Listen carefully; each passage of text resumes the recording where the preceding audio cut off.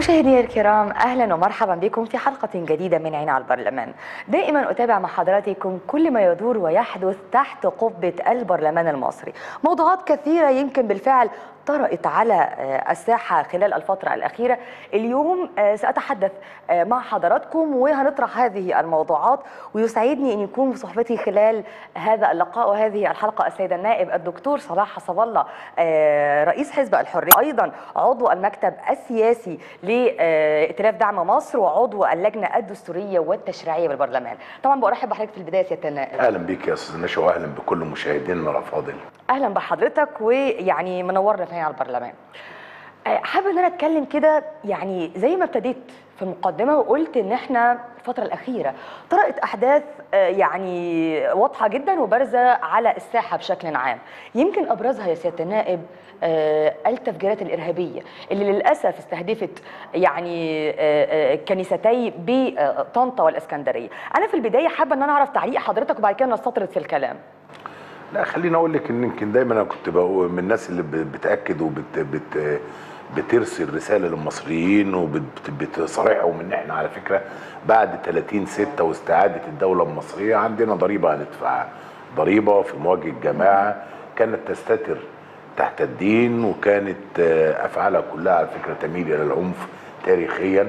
فبالتالي استبعادهم من سدة الحكم في ذلك الوقت 30 6 2013 ده كان يعني على فكرة إن أنت بتستدعي نموذج العنف القديم لجماعة الإخوان.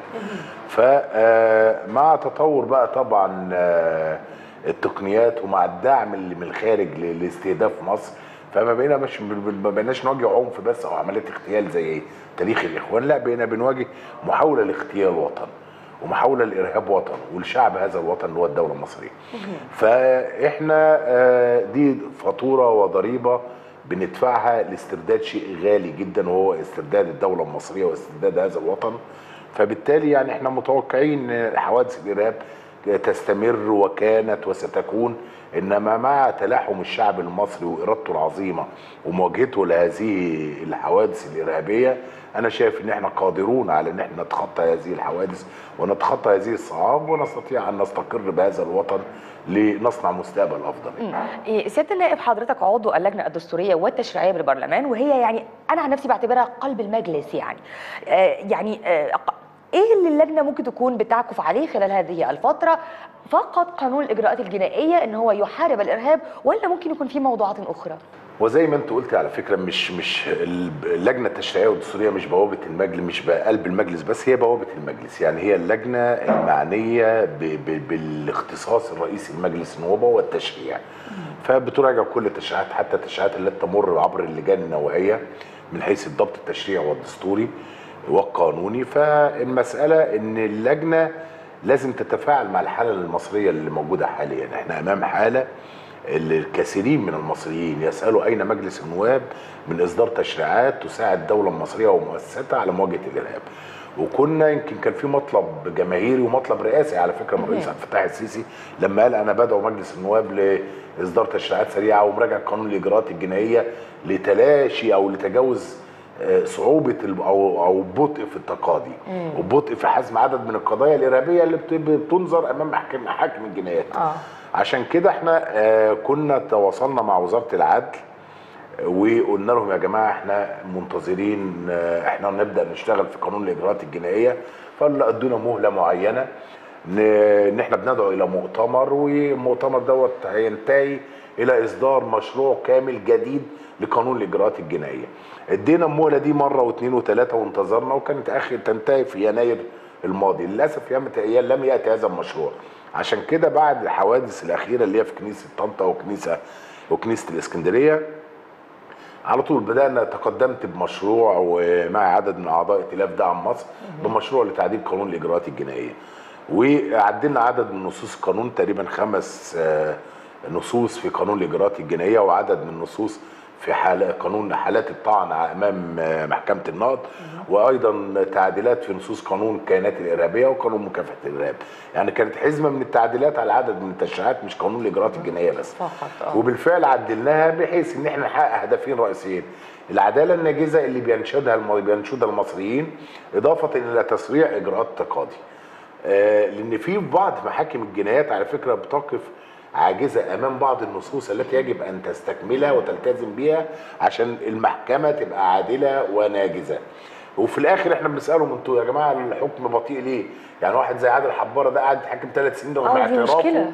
اعترافه وتبجعه في مواجهة المصريين آه أنا عملت كده ولو أتيحت لي فرصة هقتل جنود تاني ومع ذلك المحكمة وقفت عاجزة غصب عنها إن هي لازم تنظر تستمع إلى كل الشهود اللي بيطلبهم وبعد ما تصدر حكمها في الجنايات تروح محكمة النقض ثم يعود لدائره أخرى في الجنايات ثم يعود مرة ثالثه رابعة لمحكمة النقض ثم تتحول محكمة النقض في المرة الخامسة إلى محكمة موضوع فاجراءات طويلة جدا. إحنا اختصرنا هذا الكلام في تعديلات على بعض نصوص قانون الإجراءات إن محكمة النقض منذ أول طعن تتحول إلى محكمة موضوع وتقيم الدعوة. وده بقى بدل ما قضية الجنايات كانت تمر بخمس محاكمات بقت تمر بمحاكمتين. آه، تقليص مر- مراحل التقاضي. بالتأكيد يعني أنا في تقديري الشخصي بعد هذه الإجراءات والتعديلات اللي أجريناها على قانون الإجراءات الجنائية أعتقد إن من المفترض إن أكثر محاكمة أمام محكمة الجنايات والنقض تاخد سنة من سنة لسنة ونص. ده على أقصى تقدير. إنما رغم هذه التعديلات أنا عايز أقول لك بقى كرجل قانون ما زلنا في حاجة ماسة إلى إعادة النظر كليا في قانون الإجراءات الجنائية. وده خلانا بقى على فكرة وإحنا بنعمل تعديلات الإجراءات الجنائية قلنا للحكومه يا جماعة إحنا منتظرين من وزارة العدل في مدة أقصاها نهاية هذا الشهر الجاري إن أنتوا تجيبوا لنا إيه، مشروع كامل اللي هو اللي أنتوا واعدين بيه واعدين بيه وبتقولوا إحنا عملنا فيه مؤتمر. تجيبوا لنا مشروع كامل لتعديل قانون الإجراءات الجنائية. عشان يبقى في الآخر إحنا بنؤسس لبنية تشريعية جديدة من الإجراءات الجنائية اللي هي تحقق بقى العدالة كاملة تحقق الإنجاز والسرعة في البت في هذه القضايا. تبقى المسألة مرتبطة بآلية عصرية. اللي أنا عايز أقول لك يا أستاذة نشوى قانون الإجراءات الجنائية اللي إحنا بنعدل فيه النهارده ده من سنة 50 يعني قارب على 70 صح، سنة. آه اي نعم تجرى تعديلات على فترات متباعدة ومتباينة. إنما في الآخر ما ينفعش وأنا بعمل إجراءات جنائية تواجه آه، آه، سلوكيات معينة وتجاوزات معينة ومخالفات قانونية معينة وجرائم معينة في سنة 50 هي اللي اتعامل بيها في سنة 2017 بالظبط كده. فالكلام غير منطقي. فأنا أنا بتمنى إن وزارة العدل والحكومة المصرية تلتزم هذه المرة وترسل لمجلس النواب مشروعها الكامل لتعديل الإجراءات الجنائية ما قبل نهاية إبريل الجاري مم. يمكن يا ست نائب الناس زعلانة شوية نقول آه، لأن آه، قانون آه، أو تعديل قانون الإجراءات الجنائية يعني يعتبر من شهر من شهر نوفمبر 2016 وإحنا بنتكلم في نفس الموضوع ومفيش أي خطوة خدناها. دي تخلي الناس تقول يا جماعة أنتوا شايفين كل يوم بيحصل حاجة وانتوا مش قادرين تحطوا لنا حد لدوت. بص خليني أقول لك بس حاجة يمكن لازم برضه عشان يبقى مشاهد ملم. إحنا كلنا كمصريين كمواطنين أنا نفسي في قبل ما أبقى نائب أنا مواطن. بالظبط. ونفسي بطالب بنفس اللي بيطالب بيه المواطن. إنما في الآخر التشريعات صناعة ثقيلة مش صناعة خفيفة. يعني من الصناعات الثقيلة جدا صناعة القوانين والتشريعات. بمعنى إن أنت ما تقدريش تندفعي وتشرعي بعواطفك وبانفعالاتك. التشريع ده يجب أن يتحكم فيه حاجتين العقل والضمير.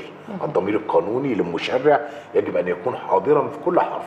عشان كده إحنا مثلا ممكن نقعد في نص واحد في نص واحد عشان نضبط صياغة ونغير أو لواء أو وا لأو نقعد نتناقش فيها فترة كبيرة جدا. طبعا. ليه؟ لأن إحنا ما بنعملش تشريع لحالة.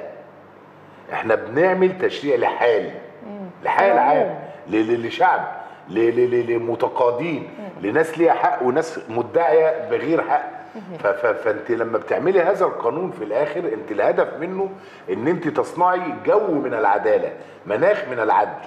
مش تبص إيه تنفعلي على حادثة معينة تقول لي اعمل لها تشريع بعد ساعتين.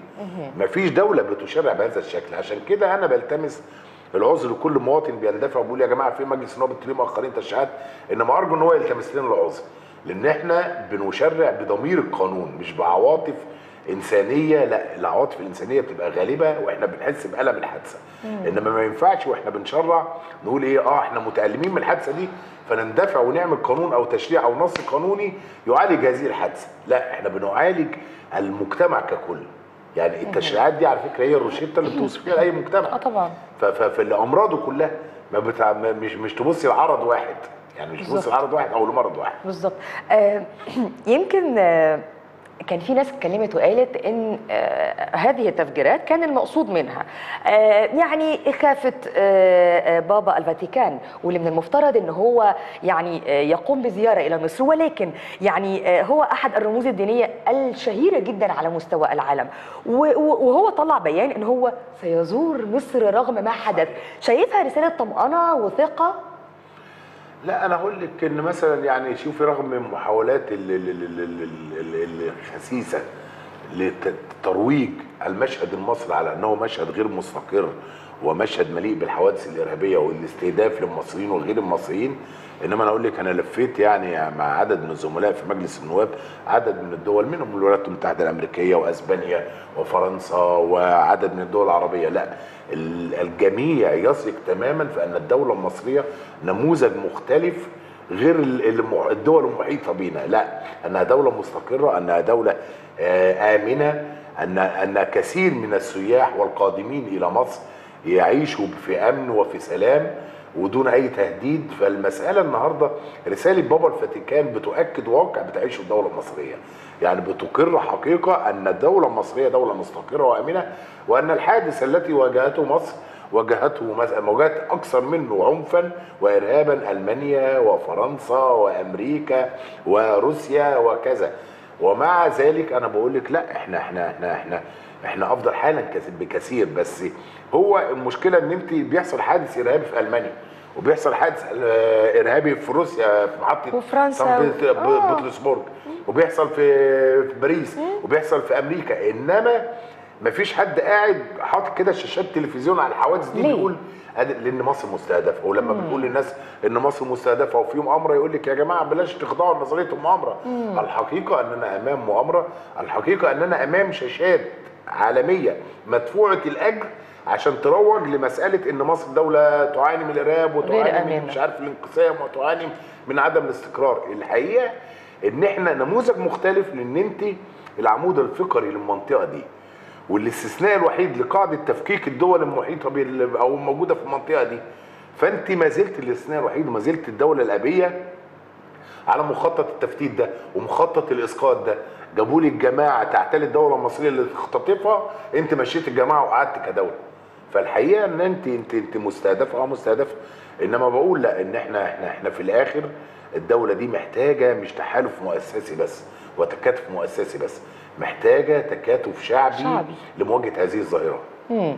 آه، ولكن يمكن ال- الأحد ال- الماضي كان آه، عيد آه، الإخوة المسيحيين وشفنا الدنيا كانت مستقرة ويمكن بالفعل عثروا على عدد من ال- القنابل وتم تفكيكها الحمد لله والناس كانت بسلام الناس بتقول يا سيادة النائب ليه؟ ما تمش أخذ هذه الاحتياطات منذ البداية، ليه بنستنى ما المشكلة تحصل وبعدين نبدأ ناخد احتياطاتنا؟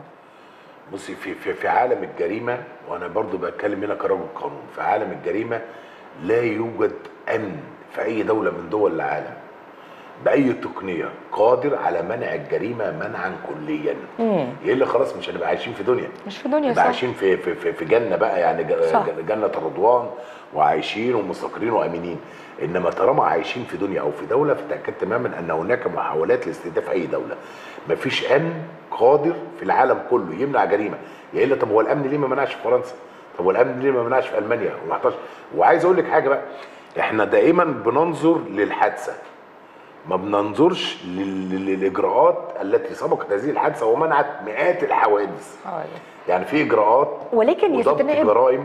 يعني المشكلة الفرق يعني حضرتك أنا معاك في اللي حضرتك بتقول ولكن هناك اختلاف. اختلاف إن كان متوقع إن يحدث تفجيرات خلال هذا اليوم. تمام. طيب أنا هقول لك أنا حاجة. وإحنا قاعدين أهوت مع بعض في مكتب زي ده. دخل علينا الطبيعي جدا إن الأمن بيمنع اللي داخل. إنما لو دخل على المبنى كله مثلا واحد بحزام ناسف. وضبطوه ومنعوه. وده اللي حدث ده اللي حدث في الكنيسة المرقصية في اسكندرية. إن هم بالفعل منعوه يخش. منعوه يخش. فلما منعوه يخش عمل إيه؟ فجر نفسه. فجر نفسه. بالظبط. فهنا لو بتتكلمي عن إجراء أمني فالإجراء الأمني تم وبشكل وقائي وسليم في في مكانه. إنما خلاص ده واحد اتكشف راح مفجر نفسه مفجر الحزام الناسف فبتتكلمي إن المسألة هنا أصعب الجرائم الإرهابية التي من الممكن أن يواجهها أي جهاز أمني هي الجرائم الانتحارية. إن واحد داخل ما عندوش أي مشاكل إن هو يضبط. ما عندوش أي مشاكل إن هو ينكشف. إنما هو في الآخر هو داخل عارف وقت ما يضبط هيدوس زرار. يعني هو حط إيده كده داس زرار. حصل التفجير. فانما انما في نفس الوقت خدي بالك حديث الكنيسة المرقسيه على وجه التحديد لو كان عدى من الباب ده كانت هتبقى كارثة مصرية. مش كارثة مش حادثة إرهابية. لأن خصوصا ان ان ان, إن البابا توادرس كان موجود على فكرة في هذه الكنيسة. يعني كان موجود في هذه الكنيسة. فالمسألة هنا أنا بقول لك لو بقيم اجراءات امنيه لا أنا أنا أكافئ أكافئ وأحيي الإجراءات الأمنية اللي منعت تسرب أو تسلل هذا الارهابي إلى الداخل. ففي الآخر أنت بتبقى داخله بتقابلي واحد عبارة عن قنبلة متحركة. صح. فدي يعني والله يا ست نائب إحنا ال- ال- القوات الأمن الموجودة هم مننا وإحنا منهم في الأساس. طبعا. يعني حتى امنهم هم شخصيا إحنا يعني نهتم بيه بشكل كبير جدا. يمكن حضرتك في كلامك وأنا هلتقط من حضرتك أطراف الحديث. وحضرتك قلت إن نحن مستهدفين من الخارج. طيب يعني أنا في حاجة كنت عايزة أخد رأي حضرتك فيها. يمكن شفنا خلال الفترة الأخيرة زيارة الشيخ تميم إلى إثيوبيا وزيارة أيضا الشيخ هموزه إلى السودان. ويمكن بعدها يعني شفنا عدد من التغيرات في الآراء. شايف ده إزاي؟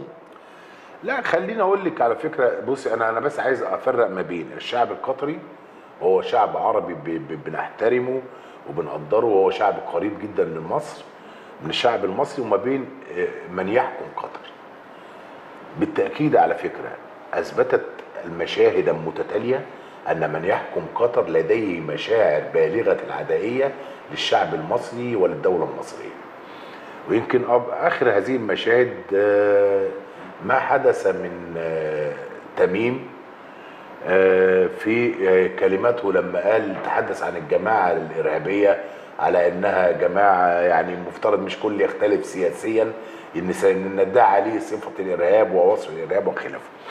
كلام تميم ومواقف تميم ومواقف الإدارة أو الحكومة أو من يحكم قطر أنا بقول لك لا مواقف تبين أن هناك مشاعر عدائية وحاقدة على الشعب المصري مش على الحكومة المصرية وبس وأنهم حينما تحالفوا مع الشعب المصري تحالفوا مع جماعة تابعة ليهم وتأتمر بأوامرهم ولم يتحالفوا ويدعموا الشعب المصري.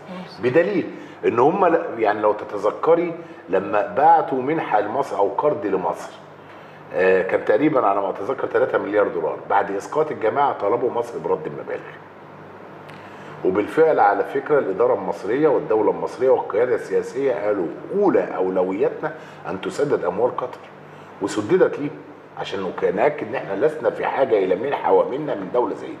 أو من حكومة زي دي بلاش عشان الدولة دي تعني الشعب. الشعب. وأنا أنا أنا بقول لك لا يعني أنت أنت تأكدي تماما أن هناك من يعبث باستقرار وأمن الدولة المصرية وهقول لك ان ان أن من يحكم قطر ضالع تماما في هذا المخطط لاستهداف الدولة المصرية مم. مم.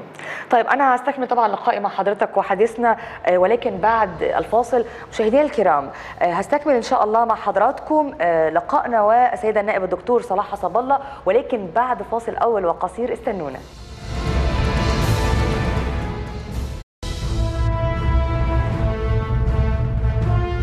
مشاهدينا الكرام أهلا بكم مرة تانية. نستكمل آه، لقائنا والسيد النائب الدكتور صلاح حسب الله آه، رئيس حزب الحرية وأيضا عضو آه، المكتب السياسي بائتلاف دعم مصر وعضو اللجنة الدستورية والتشريعية في البرلمان. برحب بحضرتك سيادة النائب مرة تانية. أهلا بيك يا أستاذ أهلا بيك. نستكمل مع حضرتك فيما يخص اللجنة الدستورية والتشريعية.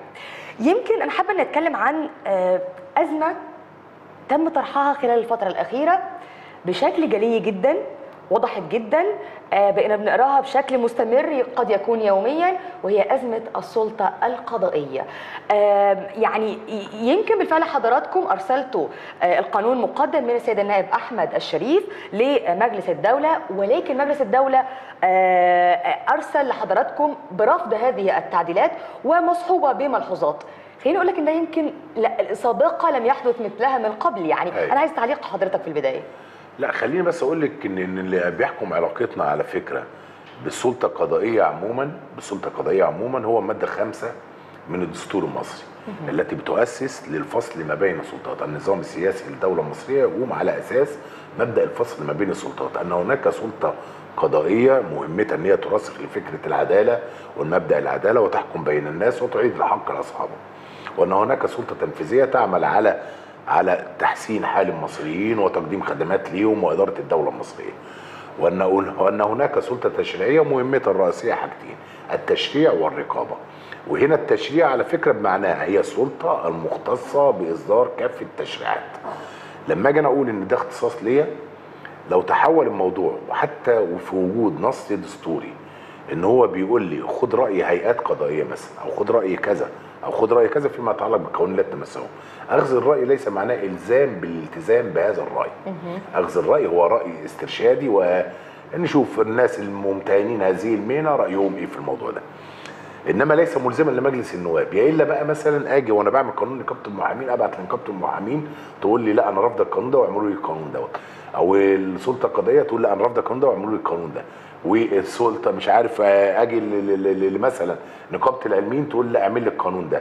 يتحول تتحول هنا السلطة التشريعية إلى أداة في أيدي من يريد أن يشرع.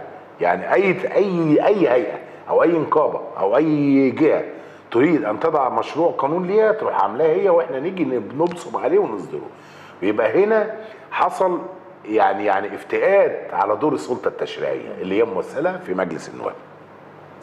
إحنا لما بدأنا نناقش هذا القانون أرسلنا بالفكر التزمنا بنص الدستور وأرسلنا إلى آه، الهيئات القضائية يا جماعة إحنا لدينا مشروع قانون قولوا لنا فيه رأيكم. لما أرسلنا هذا القانون لم يرد علينا إلا نادي القضاه فقط. فقط. ولقينا بعض الهيئات والجهات القضائية راحت عاملة مؤتمرات صحفية وبترفض فيها هذا القانون. هل يعقل أنه حينما تتعامل مؤسسات وسلطات مع بعض أنا قدرت هذه السلطة القضية على فكرة اللي إحنا بنقدرها جدا وبنكن ليها كل احترام وتقدير وبنثق تماما أنها حصن منيع لإقامة العدل في الدولة المصرية. إنما في نفس الوقت أنا قدرت وبعت لك وبقول لك قول لي رأيك فكان الطبيعي إنك ترد عليا وتقول لي رأيك. ما تروحش ترد عليا عن طريق مؤتمر صحفي. ومع ذلك شرعنا في مناقشة هذا القانون وانتهينا إلى إجراء تعديلات عليه من شأنها إن هي تحقق مبدأ أكبر لاستقلال القضاء وعايز أقول لك حاجة إحنا استقلال القضاء استقلال القضاء هل يختلف أحد في مصر على أهمية استقلال لا القضاء؟ طبعا. مفيش.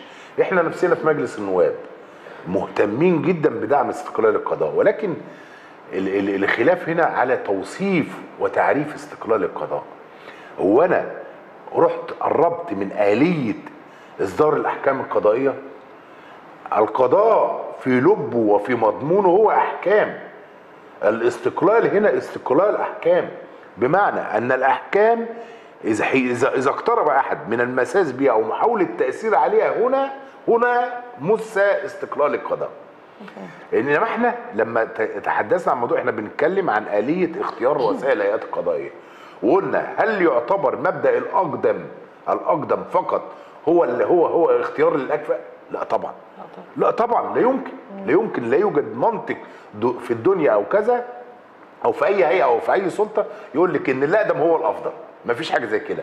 إنما لما أدي أما أدي للجمعية العمومية لمحكمة مجل الجمعيه العمومية لمجلس الدولة ولا الجمعية العامة للنقد ولا لل- لل- لل- لل- لل- للمحكمة لل- لمحكمة مثلا ال- ال- ال- ال- ال- الجنايات أو لكذا أو لأي سلطة مثلا معينة محكمة النقض أو مجلس الدولة أو النيابة الإدارية أو قضايا الدولة وأقول لهم يا جماعة اختاروا ثلاثة رشحوا ثلاثة من بين أقدم سبعة. أنا هنا أهو التزمت بمبدأ سبع الأقدمية. أقدم سبع نواب آه. رئيس المحكمه آه. التزمت أهو أو رئيس الهيئة. التزمت بمبدأ الأقدمية. أدي السبعة هم اختاروا منهم ثلاثة رشحوا منهم ثلاثة ورئيس الجمهورية إن هو يختار واحد من الثلاثه فده مبدأ توازني فيردوا علينا يقولوا لنا لا في مبدأ مستقر وعرف عرف معمول بيه إن هو اختيار الأقدم على طول. طب الله. طب ما إحنا كان في عرف ومبدأ معمول بيه إن مجلس النواب أو مجلس الشعب سيد قراره. ومع ذلك وإحنا بنؤسس لدولة جديدة قلنا ما فيش حاجة اسمها سيد قرار قلنا لا إعمال القانون وإعمال دور إن المجلس يلتزم بصحيح القانون. لو محكمة النقد قالت واخطرتنا ببطلان دايرة هنلتزم ببطلان الدايرة. إنما إحنا بنؤسس دولة جديدة بمفاهيم جديدة وبمعايير جديدة. فما ينفعش أجي عند سلطة قضائيه أقول لأ هم بقى شغالين إزاي عرف من 100 سنة هنشتغل على نفس الكلام. لأ سلطتنا التي لا ينازعنا فيها أحد هي التشريع وإقامة دولة العدل والقانون. السلطه القضائيه لم يمس استقلالها أحد وأؤكد لك مع ما تترامى لينا أو ما وصل إلى ما سمعنا. إن قسم الف- الفتوى والتشريع في مجلس في الدولة. آه. رفض هذا القانون في الآخر على فكرة حتى وفقا لنص المادة 190 من الدستور ونص المادة 175 من لائحة المجلس اللي هي قانون المجلس إن إحنا على فكرة رأي قسم الفتوى والتشريع مع تقديري الكامل ليه ليس ملزما لمجلس النواب والقرار في الآخر هيبقى بين أيادي النواب بالشعب المصري وبين أيادي مجلس النواب قد يأخذ به بما أوصى به قسم الفتوى والتشريع أو قد يستمر في في في تأكيده على إصدار القانون؟ طيب يعني حضرتك قلت لنا أحد أنا أعتبر إن دي أحد الملحوظات اللي تم إرسالها لحضراتكم من قبل آه، لجنة الفتوى والتشريع بمجلس آه، الدولة. كان هناك مل- ملحوظات أخرى ولا فقط فيما يخص الأقدمية في اختيار رؤساء الهيئات؟ لا هم انتهوا العدد من الملاحظات. أنا قريت التقرير بتاع قسم الفتوى والتشريع. أبرز أن هم بيقول لا إن يعني هو منتهي لكل أربع أربع محطات مثلا تصل في الآخر إلى أن هذا القانون على فكرة يشوب عدم الدستورية و آه، أو به شبهه عوار دستوري وفي نفس الوقت على فكرة يعني يعني يهز مبدأ استقلال القضاء. يعني ده ما انتهت إليه ما انتهت إليه توصيات قسم الفتوى والتشريع. أنا حتى لما قريت ال- ال- الحيثيات اللي اللي وصلتهم إلى هذا ال- ال- المفهوم لا شايف إن هي يعني يعني مع تقدير الكامل لا من الممكن أن يكون فيها حديث يعني. مم. طب إلى أي مدى قد يشوب عوار دستوري برضو؟ يعني إيه الخلفية؟ خلف ده حضرتك اللي قلت لنا دلوقتي يعني شايفينه حاجة طبيعية. ولكن إن ال- القضاء نفسهم آه، يمكن أنا قريت تصريحات لعدد من السادة القضاء قالوا إنه هيشوب عوار دستوري لا وهناك قضاء آخرون قالوا لا ما فيهوش شبهه عوار دستوري وهناك أساتذة القانون زي مثلا هقول لك أساتذة القانون الدستوري زي الدكتور صلاح فوزي وأساتذة القانون زي الدكتور محمود كبيش قالوا لا إحنا شايفين إن القانون دوت متسق مع صحيح الدستور ولا يوجد به شبهه عوار دستوري. هناك من يقول هذا وهناك من يقول ذاك. في الآخر على فكرة أنت أمام طب يعني أنا مش عايز أصل إلى مرحلة من مسألة أن رئيس قسم الفتوى والتشريع ورئيس مجلس الدولة الذي أصدر هذا القانون كان رأيه معلن مسبقا قبل حتى ما نبعت مشروع قانون الرفض رفض القانون لأن ما بشكل معين لا إحنا مش عايزين القانون ده. قبل ما قبل حتى ما نرسل القانون. فرايه يعني المسألة هنا ده أنا لما بستشعر الحرج كقاضي وأنا على منصة الحكم بستشعر الحرج بطل متنحي عن نظر الدعوة. فالمسألة هنا أنا أنا بقول لك أنا مش عايز أخوض في تفاصيل إنما كثير مما أرسل أو مما كتب في تقرير قسم الفتوى والتشريع من الممكن أن يكون فيه كثير من الحديث. شايف التوجه بداخل البرلمان عامل إزاي؟ فيما يخص هذا الموضوع. والله آه، مش ما أقدرش أقول لك إنما أنا شخصيا ما زال رأي ما لدي رأي قانوني ولو بتسأليني ما زلت مصرا على المضي في إصدار القانون عن رأيي الشخصي. ما أعرفش بشكله. اللي حضر- اللي حضراتكم متقدمين بيه. نعم الم- بالشكل بشكل المتقدمين إحنا بيه. بالشكل اللي صدر به من مجلس النواب. وارسل به القسم الفتوى ده رأيي الشخصي. إنما إنما في الآخر يعني يعني يعني ده رأي منفرد. هتدور أحاديث وهتدور آه، يعني حوار حوار معين هيدور داخل المجلس قد ينتهي المجلس إلى قراره. انما أنا بقول لك ده فيما يتعلق بيه خصوصا على فكرة إن ما ترمى إلينا يعني عن تقرير آه، قسم الفتوى والتشريع كان في فترة أجازة المجلس اللي هو الأسبوع بتاع الأجازات دوت. فإحنا هننتظر لما يأتي التقرير بشكل رسمي وهنشوف في الموضوع. وسمعت إن هو انتهوا منه وأرسلوه في 19 4 آه آسف 17 4 17. فهنشوف يعني هنشوف آه، الموضوع وهنقراه كويس وفي الآخر هينتهي المجلس إلى قرار. والحكم في النهاية هو المحكمة الدستورية. المحكمة الدستورية.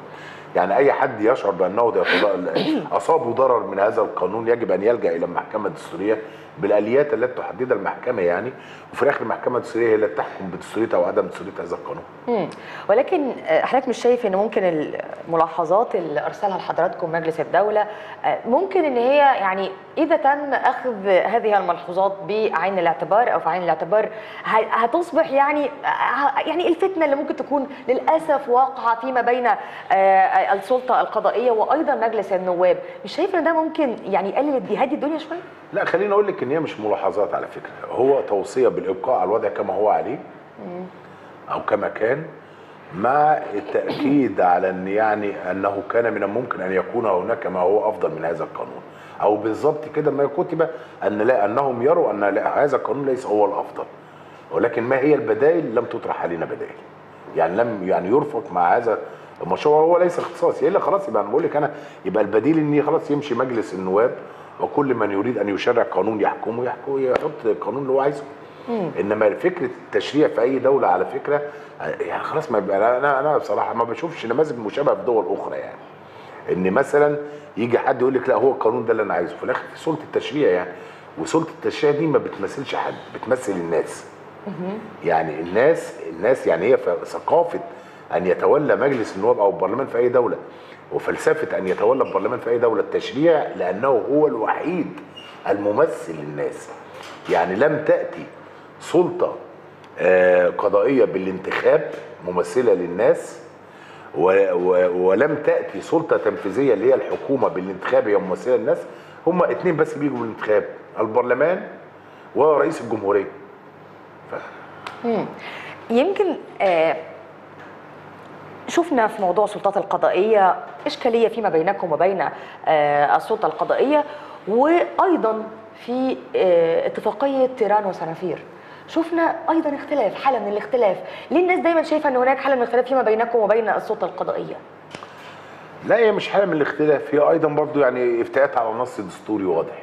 الماده 151 من الدستور بتقول إن يتولى مجلس النواب مناقشة ما يبرمه رئيس الجمهورية من اتفاقيات. خلاص شكرا. وفي حالة كذا في الفقرة الثانية وفي حالة إن ال- ال- ال- الموضوع دوت محتاج إن هو مثلا استفتاء نخضعه للاستفتاء. يعني مثلا لو في الموضوع دوت في ال- ال- ال- الاتفاقية دي تحتاج إلى استفتاء الشعب الشعب المصري نوافق ونخضع الموضوع للمرجعية الرئيسية لأي سلطة اللي هو الشعب المصري. يستفتي يقول آه أو لا.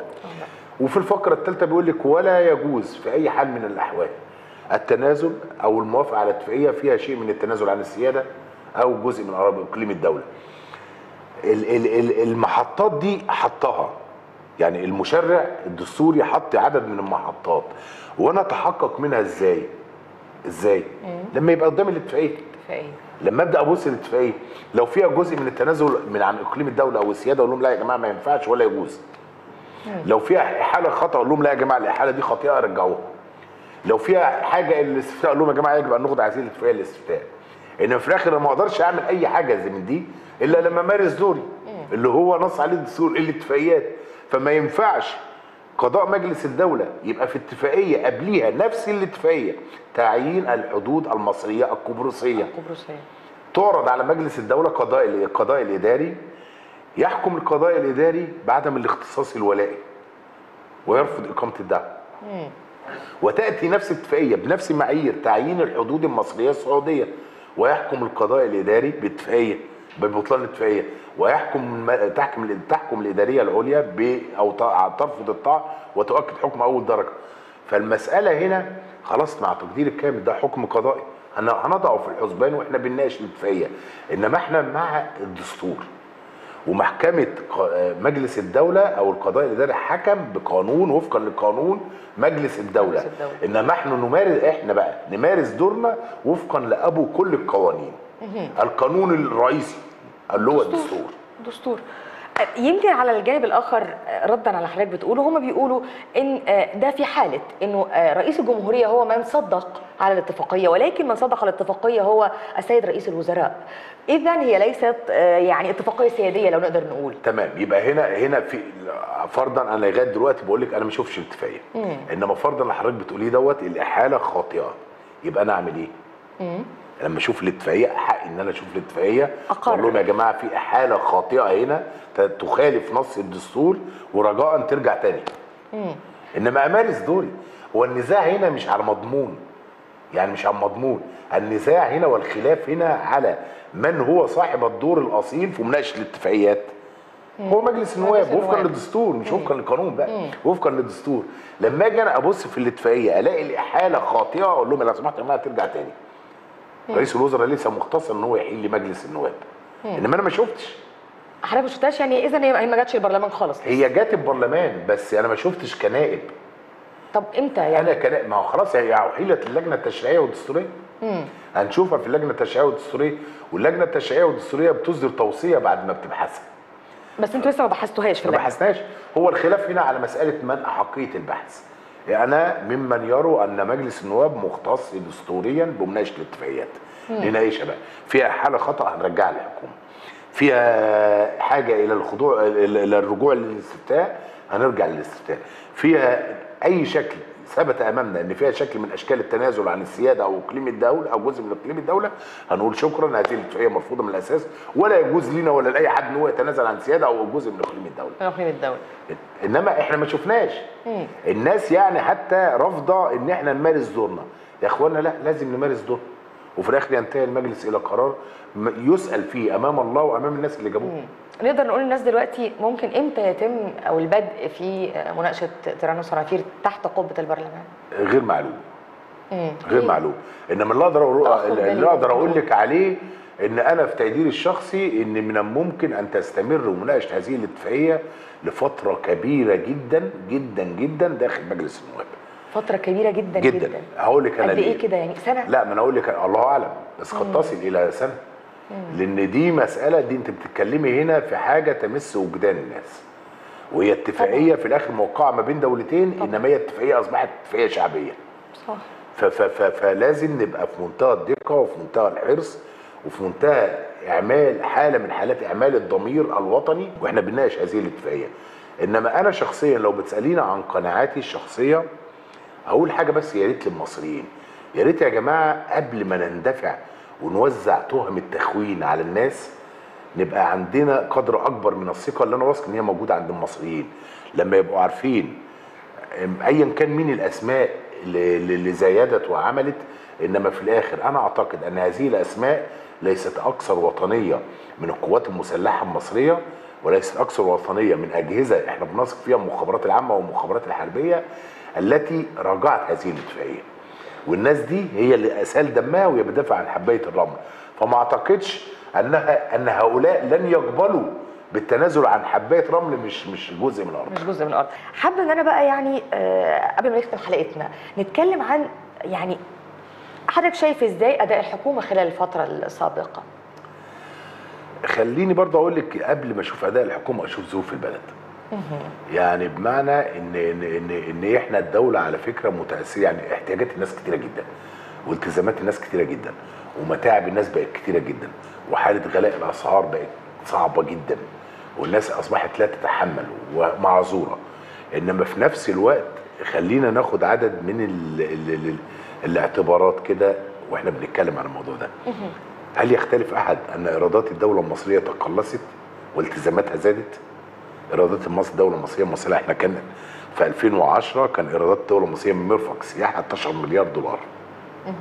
إيرادات الدولة المصريه في 2010 من آه، قناة السويس كانت 4 مليار دولار. وي. آه، إيرادات الدولة المصريه من استثمارات مفتوحة في, في, في على أراضيها كانت تتجاوز ال 40 و50 مليار دولار.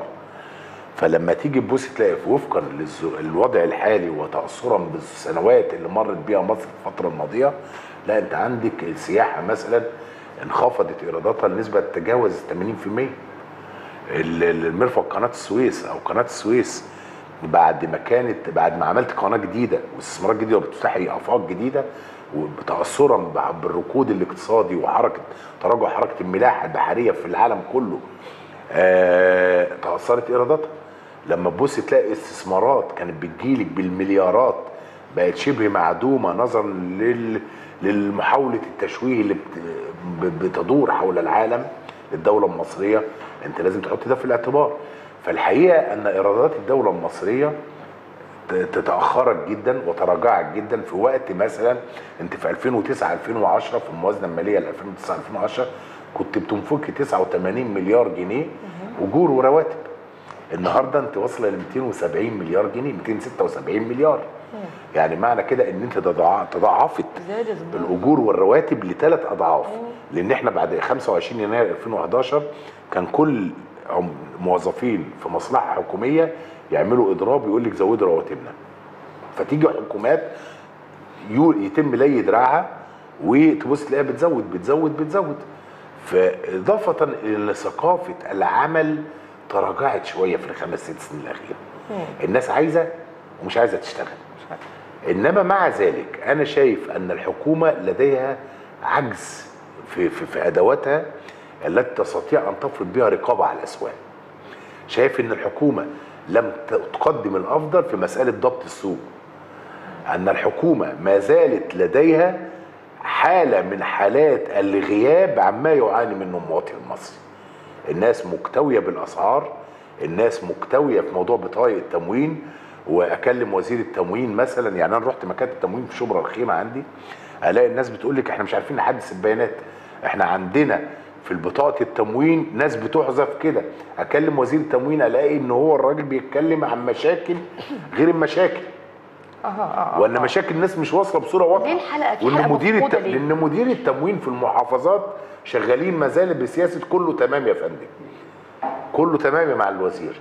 وإن كذا وهم بيوصلوا ففي حالة عزل عزل شعب للأسف ما بين بعض المسؤولين واللي بيشعر بيه الناس. إنما على كل أنا من الناس اللي بتلتمس العذر في كثير من الأوقات للحكومة لأن عارف الظروف اللي بتشتغل بيها. الظروف اللي بتشتغل فيها الحكومة. وعايز أقول لك إن أي مسؤول دايما أو أي حد بيمارس الرقابة الرشيدة وهو بيراقب المسؤول لازم يحط نفسه الناحية الثانية ينزل البحر. فيعرف التحديات والصعاب. يعني الدكتور علي مصلحي ده كان نائب شعبي يعني الراجل اللي راح وزير تموين من وزير مجلس. النواب وراجل كان منتخب وعارف مشاكل الناس. إنما في الآخر اللي على البر دايما عوام. إنما اللي بينزل البحر هو اللي بيخبط في وشه موجة هو اللي بيبص يلاقي نفسه مية الملح بتخش في ودنه فبت... أو في عينه فبتتعبه. اللي أنا شخصيا ممن يتعاملون مع الدولة المصرية من أنا مش حابب أبقى على البر. حابب أخش معاهم في وسط المشاكل وأقول للمسؤول تعالى لا طب ما تيجي نصلح دي بالشكل الفلاني. بالشكل الفلاني. إنما ما أقعدش أزايد وأعمل وأقول لا دول افشل الحكومة وافشل والحكومة لازم تمشي. طب هو سؤال لو الحل في مشاكل المواطن المصري إن الحكومة دي تمشي وتيجي حكومة بكرة الصبح تبقى نمشي الحكومة. إنما هل هو هل هو ده الطريق للحل؟ أنا شايف لا. شايف إن إحنا مع تحسين أداء الحكومة مع تجويد أداء الحكومة مع ممارسة الرقابة الرشيدة على أداء الحكومة مع العمل مع الحكومة لصالح المواطن المصري. الرقابة. حضرتك يعني لمست الجرح والله. إحنا عندنا مشكلة في, في, ضعف الرقابة في, في يمكن في الكثير والكثير من الأجهزة في الدولة. مشكلة صحيح. كبيرة يا سياده النائب. صحيح. موضوع صحيح. الأسواق إزاي الموضوع متساب كده بالشكل الفظيع اللي إحنا بن- بنعيش معاه كل يوم يعني؟ لا خليني أقول لك كمان بعيد يعني مسألة الرقابة ومسألة المعايشة للمشكله يعني أنت لو تابعنا من 48 ساعة المشكلة بتاعت أنبوب ال- آه. آه، ماسورة الغاز التجمع. آه ماسورة الغاز اللي انفجرت دي بتاع وكانت تودي بحياة الآلاف. لو لا قدر الله لولا. يعني أنت عارفة يعني اللي عايز أقول لك إن أشد العاملين على حماية المواطن المصري المولى سبحانه وتعالى. طبعا. في كثير من الكوارث لولا عناية الله ورعاية الله كنت ك- النتائج كانت تبقى كارثية. إنما لما تيجي تسأل وزارة البترول يقول لك لا أصل أنا ماليش دعوة ده كان واحد بيحفر ولا المفروض إن بتوع المرافق هم اللي يقولوا له. وتسأل بتوع المرافق يقول لك لا أصل الحي والحي يقول لك أصل المحافظة والمحافظة تقول لك لا أصل وزارة البترول والوزارة يقول لك لا أنا حاسب رئيس شركة الانابيب إنما في حالات زي ديت يعني أنا شخصيا أتمنى إن وزير البترول يحط رجله على الأرض شوية. يعني أتمنى إن وزير البترول وأنا شايفه على فكرة من الوزراء اللي معنيين شوية ببعض المشاكل الفنية. إنما في نفس الوقت لا في مشاكل شعبية لازم يحط نفسه فيها. يعني ما ينفعش يبقى قاعد في مكتبه على طول. أنا ش... أعتقد إن وزير البترول من الوزراء اللي ما بيخرجش بره مكتبه إلا قليلا يعني. فلازم في مشكلة زي دي تنزل. وأنا لما تيجي تسأليني ماسورة غاز انفجرت تقولي لي مين المسؤول؟ أقول لك قبل الحي وزير البترول. لأن مفترض هم عندهم خريطة لا يلجأ الحي أو أي حد من الإدارة المحلية إن هو يشتغل فيها غير لما يقولوا له تعالى أقف الخريطة هنا أهوت. إنما يبدو إن مفيش حلقات وصل كويسة ما بين ال- ال- الحكومات أو ال- الوزارات وبعضها. وده بي اللي بيدفع ثمن وبيدفع الضريبة بتاعته المواطن المصري. فأتمنى إن الأداء يتحسن. يمكن. يحسب له آه، وزير سيد وزير البترول آه، طارق الملا إن يمكن بنشوف في البنزينات البنزين متوفر غير الأول كان عندنا مشكلة بتحصل في وقت من الأوقات. طيب أنا عايزة أروح مع حضرتك ل آه، بما إن حضرتك عضو المكتب السياسي لائتلاف دعم مصر آه، ائتلاف دعم مصر هو الأكبر تحت قبة البرلمان. آه، فين هو دلوقتي؟ إيه اللي بيحصل؟ بيعمل إيه؟ بس هو ائتلاف دعم مصر طبعا إحنا عندنا على فكرة عدد من الأجندات يعني عايز أقول لك تعديلات قانون الاجراءات الجنائيه جاءت من ائتلاف دعم مصر. آه، في عدد مشروعات قانون. مراجعة قانون الاستثمار. إحنا شغالين في قانون الاستثمار بنراجعه شغالين في قانون الرياضة بنراجعه شغالين في قانون الإدارة المحلية بنراجعه. آه، ائتلاف دعم مصر لديه مكتب فني معني بمراجعة كل هذه القوانين وتشكيل لجان لنظر هذه القوانين. وعندنا أجندة تشريعية تشمل عدد من القوانين منهم قانون التأمين الصحي الشامل منهم قانون العمل منهم قانون آه، ال- ال- الع- العدالة الانتقالية. الانتقالية. عدد من القوانين إحنا شغالين فيها في أجندتنا التشريعية. إنما إحنا عندنا مشكلة مع بعض الزملاء داخل المجلس. البعض حينما تجد الائتلاف بيحدث حالة من النقاش مع الآخرين يقول لك أصل الائتلاف كتلة سائله ولما نيجي يقول لك اصل يعني في ناس كانت تقول لك إيه في بداية المجلس هو فين ائتلاف دعم مصر؟ يا جماعة ما تصدقوش إن في ائتلاف دعم مصر. ولما نبدأ ننظم نفسنا ويبقى في كتلة تصويتية واضحة للائتلاف داخل المجلس يقول لك شفت ده بيمارسوا الديكتاتورية داخل المجلس والانفراد بالقرار. ومع ذلك إحنا على فكرة فاتحين آه، أيادينا وعاملين قنوات تواصل مع كل التيارات السياسية والنواب الاخرين من خارج الائتلاف بنتناقش معاهم لا نسعى الاستحواذ على اللجان ولا الاستحواذ على فكرة إن يبقى تشريع اتجاه واحد من ائتلاف دعم مصر. لا بنتواصل مع الآخرين أو الآخر داخل المجلس وبنحدث نوع من النقاش حوالين عدد من القوانين. إنما في الآخر أنا عايز أقول لك إن يمكن الحمد لله في دور الانعقاد الثاني شهد الجميع أن هناك كتله صلبة تمثل أغلبية داخل المجلس هي ائتلاف دعم مصر. وهقول لك يمكن من حسن الطالع برضو إن الدلائل كثيرة يعني إحنا إحنا كنا في 315 حينما أشرنا الائتلاف إحنا حاليا 355 وهناك طلبات كثيرة مقدمة من عدد من أعضاء المجلس للانضمام للانضمام. للائتلاف. قد تجاوز حاليا 420 هو 20 نائب طلبات 420 انضموا لا لحضراتكم يعني يعني قد نصل بعد الطلبات الجديدة إلى آه 420 اللي عددكم نائب. الكلي آه. آه ف ف ف ده على فكرة بسبب الأداء اللي بيتحسن الائتلاف ويمكن ده يعني يعني من حسن حظه ومجهود كبير بيبذله المكتب السياسي للائتلاف ورئيس الائتلاف المهندس محمد السويدي فإحنا بنشتغل دلوقتي تحول أداء الائتلاف إلى teamwork مجموعات عمل كل مجموعة ماسكة ملف بنشتغل عليه وعشان كده يمكن ده السبب لتحسن أداء الائتلاف في المجلس. آه يعني آه خليني أسألك سؤال بصراحة. فعلا بيتم معاملة أعضاء ائتلاف دعم مصر معاملة خاصة؟ يعني حتى يمكن زي ما سمعنا الفترة الأخيرة من قبل السيد آه يعني رئيس المجلس ده فعلا؟ على الإطلاق. بصراحة. على الإطلاق على الإطلاق. يعني بعض يعني في طلب الكلمة مثلا. الناس. قالت لا ده بيدوا لهم هم الكلمة وإحنا لا. طب أنا هقول لك أنا حاجة لا لا ده البعض مثلا بيجي يقول لك إيه أصل المهندس محمد سيدي طب المهندس محمد سيدي ما رئيس ائتلاف رئيس الأغلبية. فلازم يتكلم يعبر عن رأي ائتلاف الأغلبية في أي موضوع. آه، لأن في الآخر في تصويت بعد كده هيحكموا تصويت ائتلاف الأغلبية. لما أنا أقول لك أنا مثلا أنا ساعات كثير من الأوقات بطلب الكلمة من رئيس المجلس ولا لا امنح الكلمة ومع ذلك على فكرة بتعامل مع الموضوع بانسيابية لأن ما ينفعش نتكلم في كل المواضيع. وده ما بيحصلش على فكرة في أي برلمان في العالم. بتنسقوا بينكم وبين بعض مين يتكلم في إيه؟ بالتأكيد آه. يعني بالتأكيد يعني في موضوعات بنبقى متفقين مثلا إن لا يتكلم فيها فلان جوه الائتلاف. والموضوع دي لا يتكلم فيها صلاح حسب الله لا ده يتكلم فيها عمرو غلاب ده يتكلم فيها سمير الخولي ده يتكلم فيها النائب آه، محمد سويدي النائب محمد الغول فبيبقى في مجموعة كلنا على فكرة ويكاد يكون على فكرة بص تلاقي عدد يعني انت لو رجعت لمضابط المجلس هتلاقي عدد الكلمات مختلف في كل موضوع. في كل موضوع. لأن أنا بقول لك إحنا بن- بنشتغل دلوقتي بثقافة مختلفة. مجموعات عمل كل مجموعة عندها ملف بتدرسه كويس عشان تعرف تتكلم فيه كويس جوه المجلس. طيب إحنا يعني آخر سؤال بالنسبة لي النهارده حضرتك بالفعل متقدم آه، بمشروع لإنشاء مجلس أعلى لمدينة شبرا الخيمة وهي دائرة حضرتك. كلمنا كده عنه. باختصار إن شبرا الخيمه على فكرة مدينة يمكن العدد عدد السكان فيها على فكرة شبرا الخيمه حي وغرب عدد السكان فيها على الورق حوالي مليون و600 ألف. إنما الواقع الواقع ممن لديهم قائمين عايشين في شبرا الخيمه وبطاقاتهم خارج شبرا الخيمه حوالي 2 مليون و800 ألف مواطن. فأكبر من عدد كبير من المحافظات. أنا تقدمت باقتراح برغبة لتحويل شبرا الخيمة إلى مجلس أعلى للمدينة لأن هي تستحق هذا الكلام لديها يعني مشاكل كثيرة جدا. محتاجة رئيس مجلس أعلى المدينة بسلطات محافظ وبدرجة وزير فلاتخاذ قرارات سريعة جدا إن هي تبقى ليها موازنة مستقلة. توازي مو- موازنات المحافظات لأن هي محتاجة يعني فلوس كتيرة جدا. عايز أقول لك يا أستاذة نشوى يمكن يعني هتستغربي لما أقول لك إن حي غرب وحي شرق شبرا الخيمه ميزانيتهم في الخطة الاستثمارية كلهم على بعض طوال العام المالي 12 مليون جنيه فما يعملوش حاجة ما يرصفوش شارعين. عشان كده بنلجأ دايما للتفكير خارج الصندوق حاليا وبناتي باموال من وزارة التخطيط ومن وزارة الإسكان من صندوق تطوير العشوائيات ومن وزارة التنمية المحلية عشان نوفر ما نعمل مشروعات فاحنا أنا أنا مصر ان أنا يعني باذن الله اقاتل من أجل تحقيق هذا الحلم لأهل شبرا الخيمه لتحويلها لمجلس أعلى المدينة وشايف إن دوت هينقل شبرا الخيمه نقلة نوعية كبيرة جدا. من ضمن المشروعات اللي الحمد لله ربنا أكرمني ونجحت في إدراجها في الخطة العامة للدولة مشروع مثلا كوبري آه، ربط ما بين شرق وغرب السكه الحديد.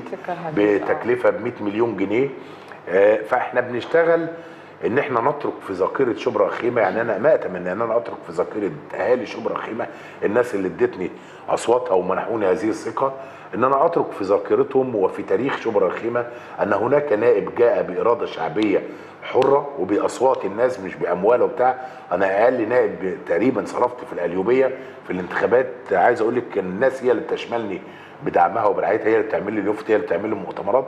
فالناس ديت معلقين في رقبتي دين كبير جدا. أتمنى إن أنا أستطيع سداده وأتمنى إن أنا أترك يعني بصمة وفي ذاكرتهم ان يقولوا ان جه في 2015 انتخبنا نائب ترك للتاريخ وللذاكرة أعمال تبقى في ذاكرة شبرا في الذاكرة. طيب أنا بالنسبة لي خلصت كل أسئلتي ودايما في آخر الحلقة بحب إن يعني ضيفي كده لو عنده حاجة يضيفها يتفضل. لا أنا ما عنديش حاجة أضيفها غير إن أنا أقول للشعب المصري إن التحدي كبير جدا أمام الدولة المصرية. وإن مشاكل كثيرة جدا أمام الدولة المصرية وإنه لن توجد حكومة لوحدها ولا مجلس نواب وحده ولا رئيس آه، بيعمل 24 ساعة في اليوم لوحده. والأداء ده كله لن يكتمل إلا بأن الشعب المصري يشعر بأن معركة المستقبل بتاعته هو. معركة المستقبل بكل ما فيها من تحديات.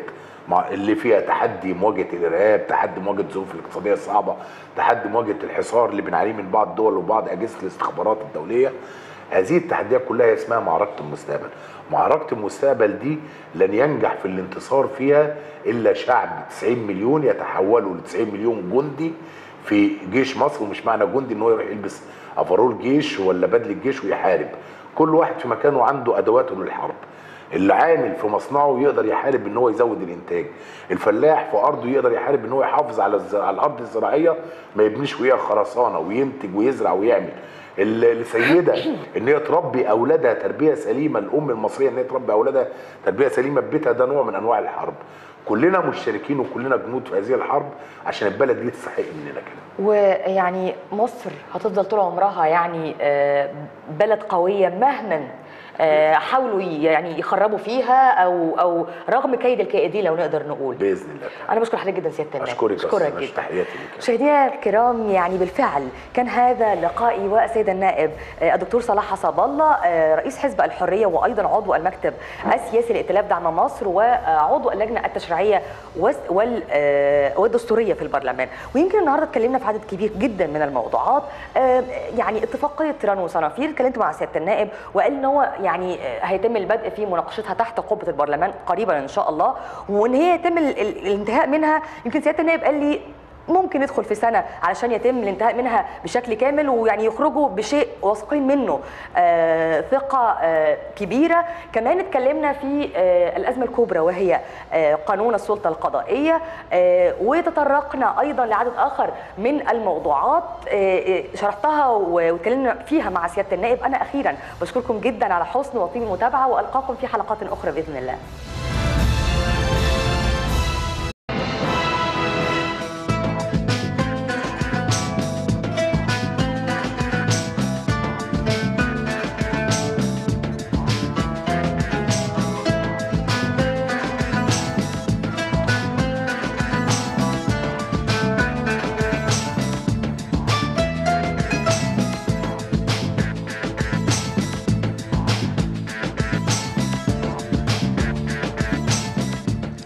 أعزائي المشاهدين مشاهدي عين على البرلمان في إطار الحملة التي يقوم بها الجهاز المركزي للتعبئة والإحصاء لتعداد السكان. الحقيقة أن هناك عدد كبير من المواطنين لا يعلمون الفائدة التي تعود عليهم لتعداد السكان والبيانات التي يقوم بها مندوبي آه، تعداد السكان بجمع هذه البيانات. جئنا إلى هنا للغرفة المركزية لإقليم القاهرة الكبرى لنرصد معكم وأيضا نتابع معكم هذ- هذا العمل الشاق الذي يقوم به مندوبي تعداد السكان. ولذلك يسعدني أن يكون معي الآن داخل الغرفة المركزية لإقليم القاهرة الكبرى الأستاذ فوزي محمد حلمي رئيس ال- الإدارة المركزية لإقليم القاهرة الكبرى وهو الآن مجتمع بعدد من المندوبين قبل الذهاب إلى عملهم لإعطاء عدد من التعليمات لهؤلاء المندوبين. الحقيقة عمل شاق يقوم به. هنتابع معاكم ولنا هذا اللقاء مع الأستاذ فوزي. مرحبا بحضرتك أستاذ فوزي. أنا اللي برحب بحضرتك في الإدارة المركزية. آه عايزين نعرف إيه هو ونوضح للسادة المواطنين إيه هو آه آه تعداد السكان. آه، أنا هبدأ بأرقام لأن لغة الأرقام هي أصدق لغة. آه، إحنا النهاردة الصبح أنا دايما من عادتي أجي أشوف موقع الجهاز. النهاردة الصبح آه، لقيت آه، عدد سكان مصر وصل ل 92 مليون و604 ألف. من خلال الرقم ده هعرض لحضرتك يعني إيه تعداد. أي دولة في العالم عشان تخطط لمستقبل أو عشان قطاعات الدولة المختلفة تقدر تعرف احتياجات المجتمع زي قطاع الإسكان وقطاع التعليم وقطاع الصحة. لازم يكون عنده قاعدة بيانات وأرقام دقيقة عن المجتمع ده واحتياجاته. إحنا عرفنا إن إحنا عندنا 92 مليون و604 ألف. مش دي قضيتنا. قضيتنا إن دول رأس مال بشري. قد يكونوا نعمة وقد يكونوا نقمة. لو إحنا عارفين عنهم كل حاجة تفاصيل كاملة وصورة كاملة عن مختلف حياتهم وجوانب حياتهم ال- السكانية أو الاقتصادية أو الاجتماعية هقدر أعرف الناس دي وأوجهها وأعرف مشاكلها إيه. إحنا تعدادنا اسمه التعداد العام للسكان والإسكان والمنشآت. باين من الاسم إن التعداد بيتم على ثلاث مراحل. المرحلة الحالية اللي إحنا شغالين فيها هي المرحلة الأولى اسمها مرحلة حصر المباني ومكوناتها من آه، أسر ووحدات يعني وحدات سكنية أو منشآت. في المرحلة دي أنا تمهيد لمرحلة العد اللي بتلي هذه المرحلة. في المرحلة في المرحلة دي أنا بوفر قاعدة بيانات عن المباني وده التعداد الأول. بشوف خصائص المباني دي من ناحية آه، طريقة البناء من ناحية احتياجها للصيانة. بشوف الوحدات اللي جوه المباني دي ومدى توفر مرافق داخل هذه الوحدات أو إن في بعض المناطق محرومة من المرافق وإحنا عندنا مناطق كتير في مصر زي مناطق في الجنوب محرومة من خدمات زي الصرف الصحي أو المياه النقية. بعد كده بعد ما بشوف الوحدات دي وبحط خصائصها وبشوف اتبنت سنة كام البيان ده يا ترى يهم مين في الدولة؟ يهم قطاع زي قطاع الإسكان. عايز يعمل سياسة إسكانية واضحة المعالم أنا مش هقدر أعرف ولا أخطط. أنا عندي شباب في مصر يرغب في الزواج. إحنا عندنا نسبة زيادة في المواليد عالية جدا. كل طفل بيجي بيمثل ضغط على على كل شيء في الدولة. فما كنتش أنا مستعد ليه كقطاع إسكان آه، وأعمل حساب الأجيال اللي جاية دي. عندنا شباب كتير عايز يتجوز عندنا ناس كتير عايشة في عشوائيات. فأنا بقدم للدولة المباني اللي موجودة وسند بنائها وبقدم لها حجم المعروض من الوحدات السكنية. يا ترى في وحدات سكنية قد إيه؟ منها كام وحدة مغلقة؟ فبالتالي ده بيان بيهم قطاع مهم جدا زي قطاع الإسكان. طيب ده آه، يعني التعريف بتعداد السكان. الهدف يا فندم بيفيد بقى في إيه؟ بيفيدنا في إيه في المشروع ده؟ هقول لحضرتك أنا لما بقول تعداد العام للسكان والإسكان والمنشآت يعني بعكس صورة المجتمع بشكل مفصل. أنا النهارده بجيب آه، المباني اللي الناس عايشة فيها. إحنا قلنا 92 مليون و604 ألف. أنا عايز أعرف هم عايشين فين. إحنا عندنا ناس عايشة في أماكن سكن طبيعية. شقق زي اللي حضرتك قاعد فيها. لكن عندنا ناس قاعدة في أماكن سكن جوازية. عندنا ناس عايشة في المقابر. عندنا ناس عايشة في عشش. أنا لازم أوصل للناس دول لأن دول مصريين. فبالتالي أنا بقدر أقدم صورة تفصيلية عن قطاع مهم جدا اللي هو ال- ال- القطاع السكان القطاع الإسكان. بقدم له صورة كاملة عن المباني. بعد كده الناس بقى اللي جوه الشقق دول خصائصهم إيه؟ لأن أنا يهمني السمات بتاعت الناس دي. أنا عندي 92 مليون. يا ترى بقى ال 92 مليون دول منهم كام واحد مش لاقي شغل؟ لأن أنا هطلع البطالة من التعداد. طيب هو مش لاقي شغل بس كده هجيبه كعدد؟ لا ده أنا هجيبه طبقا للنوع عشان أعرف البطالة ما بين الإناث أكتر. وده معروف إن البطالة للأسف في مصر ما بين الإناث أكتر. طيب هجيب البطالة كمان طبقا للحالة التعليمية. يعني كام واحد النهارده بكالوريوس تجارة ومش لاقي شغل؟ هجيب البطالة طبقا للتقسيم الجغرافي والوحدة الإدارية. أنا بنزل على أصغر وحدة إدارية اللي هي الشياخة في المدينة والقرية في الريف.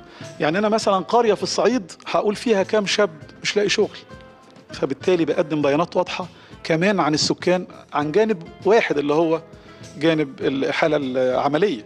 طب كم واحد أمي وسط ال 92 مليون دول؟ حضرتك عارف إن الموازنة العامة للدولة موازنة محدودة. كلنا بنسمع في الأزمة الاقتصادية اللي إحنا عارفينها إن إحنا عندنا ديون وعندنا التزامات وعندنا آه، دعم بندفعه. طيب الموازنة اللي هي بالفعل محدودة يبقى أنا عايز أعمل لها ترشيد لبنود الميزانية. أنا معايا مبلغ صغير المتبقي لغاية ما ربنا يكرمنا إن شاء الله والأزمة الاقتصادية تمر. عايز أوجهه لأوجه أنفاق طبقا لأولويات. يعني مثلا عايز أعمل خطة للأمية. يا ترى بقى أنا لو قلت لك كام واحد أمي في مصر من غير ما أديك خريطة توزيعهم؟ يعني يا ترى الأمية مركزة فين؟ أنا بجيب لك الأمية على مستوى العزبه اللي هي التابع.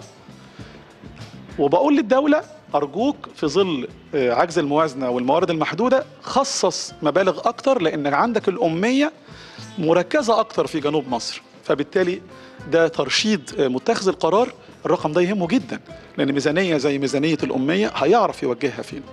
ميزانية زي ميزانية الصرف الصحي عندنا 60% من قرى مصر وبرضه معظمها في الجنوب محروم من خدمة زي الصرف الصحي. أما أجي أوزع بقى الميزانية دي الراجل اللي بيتخذ القرار يقول لي لا أنا ه... أنا المناطق اللي في الجنوب أصبحت أكثر احتياجا مش كله ناحية القاهرة بس. أنا بدي حضرتك بس أمثلة بسيطة. أمثلة لكن هي يعني آه، دورها وواجبها متعدد. طيب آه، دور الغرفة هنا إيه يا فندم؟ وعايز أعرف آه، عدد المندوبين المشاركين في التعداد ده آه، قد إيه تقريبا؟ طيب أنا فندم أنا بشتغل في التعداد طبقا لهيكل المشتغلين لأن أنا لازم أنظم نفسي فهيكل مشتغليني بيبدأ بالمنسق وأنا معايا هنا في الغرفة مشرفنا النهارده الأستاذ أسامة أبو باشا مدير مكتب شمال القاهرة والأستاذ عماد نصار المنسق العام في جنوب القاهرة لأن المح- المحافظة كبيرة فقسمينها على جزئين. كلنا بنتعاون مع بعض وكل واحد فيهم يعني هبدأ بالمنسق. المنسق ده فيه تحت إيده فريق من العاملين بيتسلسل بوظيفة مراقب وبعد كده مفتش وبعد كده بيجي معاون وبعد كده بيجي مساعد معاون.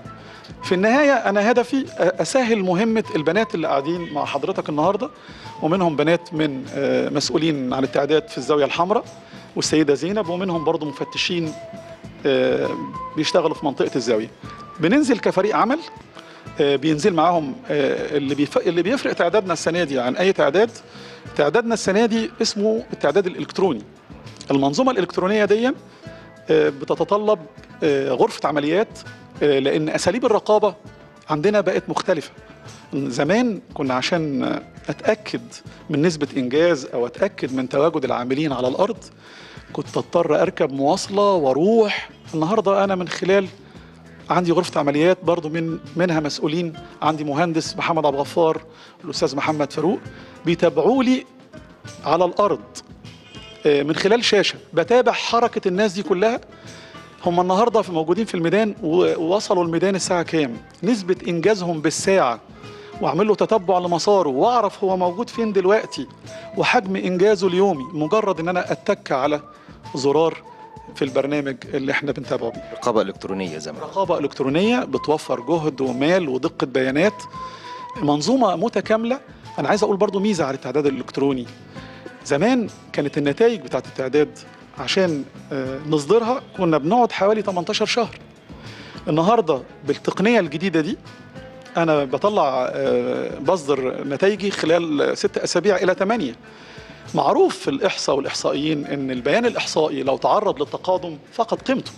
أنا لما أقول لمسؤول الأمية في مصر من 18 شهر هبني خطتي الأعداد بتختلف.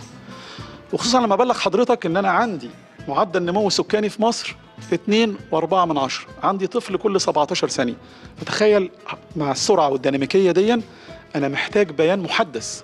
فده اللي بيتيحوا لي التعداد الإلكتروني. طب بس حضرتك فندم عدد الشباب المشارك في حملة التعداد قد إيه؟ آه، أنا بما إن أنا مسؤول عن التعداد في ثلاث محافظات آه، إقليم القاهرة الكبرى بيبلغ عدد سكانه حوالي 23 مليون يعني حوالي 25% من سكان مصر. معايا أكبر عدد من العاملين معايا أكتر من 6800 شاب. لكن داخل القاهرة معايا 2700 شاب. تم تدريبهم إزاي بقى يا أستاذ فوزي؟ وأكيد برضو بيقابلهم آه، حاجات ومشكلات. إزاي حضراتكم تقدروا تدربوهم آه، على هذه آه، تم التدريب على أعلى مستوى. وفرنا لهم مقرات الأول بالتعاون مع المحافظات. وأنا بشيد بدور الأجهزة التنفيذية والمحافظين لأن المحافظ يعتبر هو رئيس اللجنة العليا للتعداد داخل محافظته. فلقيت كل تعاون من محافظين القاهرة والجيزة خص بالذكر آه، اللواء كمال الدالي. آه، وفروا لنا مقرات على أعلى مستوى مجهزة بمساعدات تدريب. آه، أكثر من 103 مقر تم توفيرهم ليا. كان أول كانت البداية توفير المقرات بمساعدات التدريب. بعد كده كان في خطة معمولة في الجهاز بشكل مركزي لإعداد النخبة من المدربين بطريقة التي أو تي تم إعدادهم بشكل رائع. بشكل غطى كل جو- جوانب النواحي الفنية والميدانية. وبعد كده اتفرعت النخبة دي وتم التدريب على مستوى آه، المحافظات برضو داخل المقرات. وحصلوا على جرعة تدريبية عالية إزاي آه، يعملوا مقابلة ناجحة؟ إزاي يتعاملوا مع حالات الرفض وآلية التعامل مع حالات الرفض؟ وإزاي يقنع الأسرة؟ وإزاي يبدد الشائعات اللي أنا هقول لحضرتك عليها بعد شوية اللي بتصاحب كل تعداد؟ آه، أنا بسأل حضرتك آه، التدريب ده آه، شايف إن في ما شاء الله عدد كبير من ال- البنات وعدد كبير من الشابات أكيد برضو بيقابلهم مشكلات وفي ب- برضو ظهرت في الآونة الأخيرة شائعات على آه، مندوبي آه، تعداد السكان. عايزين نعرف حضراتكم بتتعاملوا إزاي مع آه، المشكلات أنا طبعا سعيد بالسؤال ده وبتمنى إن الإعلام يساعدنا في إن إحنا نقضي على الهجمة الشرسة دي اللي الهدف منها إنها تأثر وتشوه مشروع قومي بيوفر قاعدة بيانات ضخمة للبلد ويعتبر كنز بيانات وبيهدده. فإن شاء الله من خلال قناة الحياة أقدر أقدم صورة عن اللي بيحصل. كل اولا إحنا بنشتغل تعداد آه، البيانات بحكم القانون بيانات سرية. أنا عايز أطمن الناس. في قانون بينظم عملية الإحصاء اسمه القانون 35 لسنة 60 المعدل بالقانون 28 لسنة 1982 القانون ده بينص على سرية البيانات وفي مواد عقابية لأي حد حتى من العاملين داخل الجهاز يفشي سر من أسرار الأسر أو سر من أسرار الصناعة. يعني لأن إحنا بنعمل تعداد كمان للمنشآت. و- وال- والمدة العقابية بتاعته حضرتك مش لا تزيد عن شهر آه، لا تقل عن ستة شهور ولا تزيد لا تزيد عن ستة شهور. وغرامة وغرامة مالية. البيانات أنا اللي بجيبها من الناس الهدف بجيبها بطلعها بتصدر في صورة جداول رقمية الناس معتقدة إن أنا بروح لسين من الناس. أنا بروح لسين من الناس كعنوان إطار عشان أوصل للأسرة. لكن بيانات التعداد كلها بتطلع في صورة رقمية مدمجة. يعني البطالة في شبرا الخيمة مثلا. ما بقولش مين متعطل في حي في شبرا الخيمة اسمه إيه. أما بجيب عدد الأرامل أو المطلقات أو يعني أي حالة من الحالات دي ما بقولش اسمه إيه لكن بطلعه في صورة أرقام. يبقى أنا بطمن الناس البيانات سرية بتطلع في صورة أرقام البيانات دي لصالحك. وبدرب ولادي إن هم يقنعوا الناس إن البيان ده لصالحهم. فطبعا كل حد قاعد معايا على الترابيزة هنا عارف أهمية التعداد وأهدافه. وبيبدأ حواره مع الأسرة إن هو يحاول يرغبهم عشان يتعاونوا لأن مفيش بيت في مصر ما فيهوش واحد بيعاني من بطالة. مفيش منطقة في مصر مش محرومة من آه، من المرافق.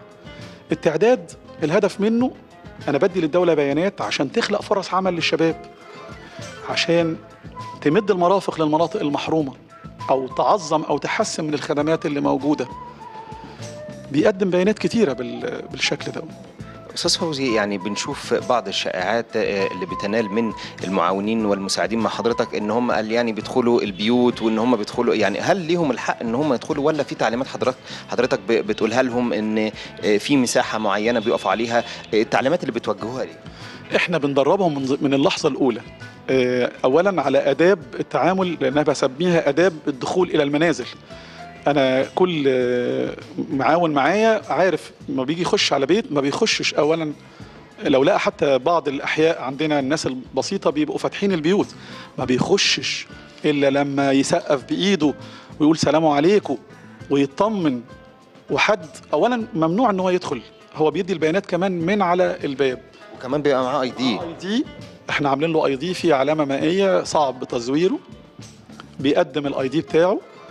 كل آه، الضمانات آه، واخدينها للأسرة المصرية. لكن فوجئنا إن زي ما قلت لحضرتك برضو آه، هجمة كده مش مفهومة. آه، إحنا بنعرف أنا واحد مسؤول هنا عن الإدارة المركزية أي بنت من بناتنا أو أي شاب من الشباب بيحصل له أي مشكلة أمنية أنا بتبلغ بيها فورا. فما فيش أي حالة تم تسجيلها من خلال الأجهزة الأمنية داخل محافظة القاهرة أو القليوبية أو الجيزة حد انتحل فيها شخصية مندوب تعداد ومع ذلك بنبص ألاقي حد مفبرك فيديوهات على الفيس وعامل حالة تمثيلية كده غريبة. أنا بطمن الناس مفيش أي حالة مسجلة إلى الآن. آه، فيها أي انتحال. وبتمنى من الناس دي يعني إن ربنا يهديهم. آه، أنا بشكر حضرتك أستاذ فوزي وأنا شايف آه، المعاونين مع حضرتك أستأذنك آخد لقاء معاهم وبتعرف بيك يا فندم. هند سليمان غرفة متابعة مكتب جنوب القاهرة. آه، أستاذة هند آه، البرنامج أنتوا اتدربتوا عليه إزاي؟ نزلتي قبل كده احتكيتي بالجمهور إيه المشكلات اللي بتقابلك وإزاي بتقدري تتغلبي عليها؟ الأول أنا رحت مدينة أكتوبر التعليمية قعدنا فيها 8 أيام متواصلين خدنا تدريب على المفاهيم الإحصائية كاملة آه، خدنا تدريب على البرامج التكنولوجية آه، وإزاي التعامل مع التابلت آه، وخدنا تدريب على فن المقابلة. آم، إزاي إن إحنا نقابل الناس إزاي إن إحنا نقنعهم لو حد رافض إنه هو يدينا البيانات بتاعته. يعني كل حاجة. طبعا اتعاملنا مع الجمهور قبل كده ونزلنا شفنا الناس اللي بترفض والناس اللي بتوافق. آه، في ناس سلسة معانا جدا في ناس آه، بتبقى صعبة شوية. بنحاول طبعا إن إحنا نقنعهم. لو إحنا ما قدرناش نقنعهم بنشوف الأعلى مننا ممكن يجي معانا ويقدر يقنع الناس. بس. إيه رأيك في المشروع القومي لتعداد السكان؟ وليه انت قررت ان انت تشتغلي؟ لا هو طبعا مشروع يعني مفيد جدا للبلد. آه، هيقدر يفيدنا في إن هو يوفر خصائص الأفراد يوفر خصائص المباني المنشآت. لازم نعرف برضو عندنا منشآت قد إيه؟ منشآت المترخصة المش مترخصة آه، عشان نوفر كل حاجة للدولة. أنا بشكر حضرتك يا فندم شكرا جزيلا. ناخد آه، آه، إحدى المعاونين بتعرف بحضرتك يا فندم. محمود إبراهيم يا فندم. أستاذ محمد آه، آه، أنت أستاذ محمود المهمة بتاعتكم شاقة مفيش شك. أنت قررت إن أنت تشتغل. الهدف من قرارك إن أنت تشتغل في هذه الشغلانة أو هذه المهنة؟ هو إحنا بنحاول بس إن يعني نشوف كمان ال... في حاجة تانية بس إحنا بن... بنحاول نركز عليها اللي إحنا بنشوف الخدمات اللي ناقصة في المناطق. في حاجة تانية اللي إحنا في عندنا رقم تعديلي أصلا معمول لكل وحدة سكنية المفروض اللي إحنا دي بنركز عليها علشان نشوف لو في أي حد عنده أي مشكلة يقدر اللي هو من خلال الرقم اللي إحنا بنعمله وبنقدمه له بس بعد ما بناخد ال...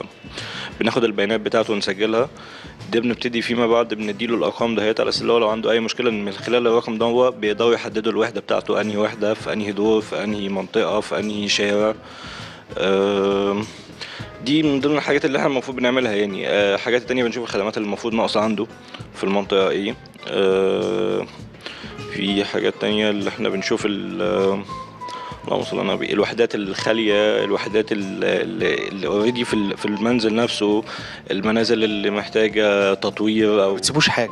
الحمد لله يعني بنحاول إلى قدر يعني على حد إلى حد ما اللي إحنا نشوف أي حاجة ناقصة في المنطقة اللي إحنا بنقدر اللي إحنا نوصلها علشان لو في حد يقدر يعمل أي حاجة في الحاجات دي ينفذها يعني. أستاذ محمود بتقابلوا ناس آه، آه، متعاونة وفي ناس مش متعاونة وفي ناس فاهمة وناس مش فاهمة أنت إزاي بتقدر تتعا- تتعامل مع الناس دول؟ وإيه مشكلة كبيرة واجهتك وقدرت إن أنت آه، تتغلب عليها أو تجيب المعلومات من من بطن؟ هو في ناس مثلا بتخاف اللي هي تفتح طبعا الباب أصلا عشان تديك الكلام ده. فأنا بقول لهم أنا في الأمر واحد اتنين تلاتة طبعا بيبقى عنده عين سحرية فأنا بديله الاي دي بحطه له أنا ممكن حضرتك ما تفتحليش الباب ممكن حضرتك تقول لي من ورا الباب تقول لي بس البيانات أنا مش أكتر من اللي أنا بعمل لحضرتك الخدمة دهيت علشان الرقم التعديلي دوت فيما بعد أي مشكلة تبقى تقدر إن أنت تعمل في الكلام ده من خلال الرقم بس فاللي هو بيبتدي اللي هو يتجاوب معايا وبعد بعد كده فعلا ما يفتح أروح مخبط على كذا باب في نفس الوقت على أساس اللي هو يبقى مطمن أكيد اللي أنا لو أنا هعمل حاجة مش هعملها لكذا واحد في نفس الوقت مش هقدر ان أنا أبقى واقف قدامه. فهو من الحتة دي اللي هو بيطمن اللي أنا بخبط على كذا باب في نفس الوقت. فبيفتح لي الباب already لو حد فتح لي فيروح هو اللي كان واقف ورا الباب بيفتح لي الباب تاني. بيطمن بالظبط كده آه. آه بتعرف بيك يا فندم؟ آه، هبة هشام حسين. هبة هشام حسين مفتش في منطقة السيدة زينب. آه أستاذ هبة آه أنت كبنت بقى آه المهمة بتاعتك شاقة. إيه المشاكل اللي بتقابلك؟ المشاكل اللي بتقابلني إن في بعض الأشخاص بيرفضوا يعطوا البيانات للمعاونين اللي معايا فأنا بتوجه معاهم إن هو بشوف حالات الرفض ديت بعرفهم بنفسي وبأهمية التعداد. وفي حاجة كمان إن هم يعني لو برضك رفضوا فبقول لهم من المادة أربعة عندي هنا في الاي دي بتاعي إن في هنا المادة أربعة. من القانون من القانون 28 لسنة 82 آه، إن في حضرتك لو في حالات الرفض أنا دلوقتي هقدر أعمل محضر أو اصعد الأمر. وبرضك يعني قبل ما أعمل حاجة زي كده أنا بوجهه إن أنا في حاجة خدمة تانية هقدمها له في شهر ثلاثة إن في حاجة اسمها الرقم التنظيمي لكل وحدة. الرقم التنظيمي دوت هو اللي هيستفاد بيه. إن هو يقدر يعمل تجديد لأي بطاقات تموين أي خدمات من مياه كهر- كهرباء أي أي مصلحة حكومية مش هيقدر يستفاد بيها إلا من خلال الرقم التنظيمي ده. فهو يعني في ناس بتستجيب معايا أول ما بيسمعوا عن الرقم التنظيمي ده فبيدوا البيان للمعاون اللي معايا. وفي ناس بترفض فبضطر إن أنا أصعد الأمر لل- للأعلى مني كالمراقب. بس بس معظم يعني في حالات تعاون معايا كتير جدا الحمد لله يعني. الناس متعاونة. بشكرك فندم بتعرف بيكي. وعايزك آه، أعرف منك آه، الهدف إن انت قررت إن انت تشاركي في حملة زي كده وشايفة حملة التعداد السكاني أهميتها إيه؟ دينا بدر مفتش دينا بدر مفتش السيدة. أم، آه، هو آه، ال- الفكرة كلها إن إحنا بس المشكلة اللي بتقابلنا خصوصا إحنا بنشتغل في منطقة شعبية أم، إن الناس بتبقى فاكرة إن إحنا رايحين آه، اولا لفرض ضرائب أو إن إحنا في أوامر هدد أو حاجة زي كده إحنا لأ خالص. إحنا الفكرة كلها إن إحنا بن بنساعد الدولة إن إحنا نقدم قاعدة بيانات من خلالها هنوفر حاجات كتير جدا. يعني من خلالها أي نواقص في- البلد هتقدر من خلالنا إحنا إن إحنا بنوفر البيانات دي. ففي بعض الناس بتبقى متخوفة شوية من ال من ال ال يعني فكرة ال- الهدد أو فكرة الضرايب. تاني بأكد لأن هما دول أكتر حاجتين آه، عاملين مشكلة بالنسبة للناس يعني الناس بتتخوف منهم. فكرة إن أنا أشارك هي هو الفكرة إن هو مشروع قومي وأنا شايفة إن هي حاجة هتبقى بتفيد البلد وبتفيدنا إحنا كشباب لأن إحنا نسبة البطالة عندنا عالية جدا. أنا مثلا مهندسة يعني ما لقيتش بعد ما اتخرجت من الكلية ما لقيتش إن أنا في في فرص كتير متقدمة لي. لأ فهو دي من ضمن الحاجات اللي برضو بتساعد إن هي هنعرف نسبة البطالة قد إيه. آه، نقص الخدمات في المناطق كلها وفي المناطق الشعبية تحديدا. لأن دي يعني مش مش كتير واصلة لمسؤولين مهمين في البلد. يعني دايما بنبقى مهتمين بالمناطق الكويسة والمناطق الشعبية دي قليل جدا اللي بيوصل لها. فبس من طريق البيانات اللي إحنا بنقدمها آه، إن شاء الله نقدر نساعد المناطق دي. أنا أنا يعني بشكركم آه، كتير جدا على كل الجهود اللي اللي بتقوموا بيها ويعني كنا بنحتفل من أيام باليوم العالمي للمرأة وشايفين ما شاء الله إن أنتوا عددكم كبير جدا آه، النهارده وأنتوا بتشاركوا في آه، مشروع قومي زي ده. النهارده إحنا حلقتنا مش انتهت إن كده لأ ده إحنا هننزل ونتابع مع المندوبين ونشوف المشاكل اللي بيقابلوها والصعوبات اللي بيواجهوها وإزاي إن هم بيقدروا يشتغلوا في جو مليء بالصعاب. هننزل معاكم إلى أرض الواقع تابعونا وخليكم معانا.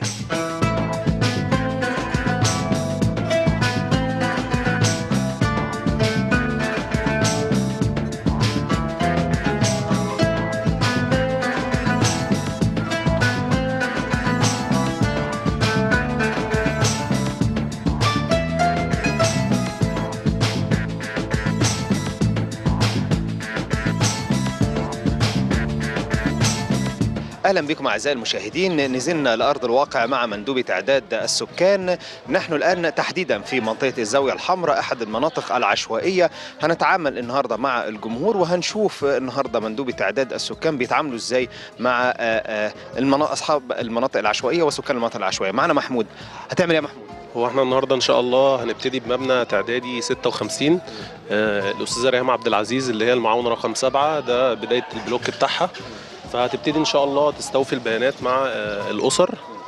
وإحنا حاليا دلوقتي فاتحين آه، الإطار بتاعنا أو الخريطة بتاعتنا.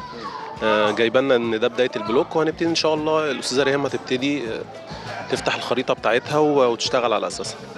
وانت يا ريهام هتعملي إيه؟ آه، المفروض إن أنا دلوقتي هخبط على الأسرة هبدأ من أول أسرة موجودة تحت في أول شقة. آه، هستوفي بياناتهم في حالة إن الأسرة موجودة في حالة إن الأسرة مش موجودة هرجع لها تاني مرة تانية آخر النهار. تمام. اتفضلوا هو ده البيت اللي إحنا طالعينه. اتفضل مشكلة. لو لو حصل مشكلة مع المعاونة ولا حاجة فأنا ببقى موجود معاها آه، سواء واقف بره البيت أو معاها جوه بحيث إن أنا أقدر أتغلب على المشكلة دي.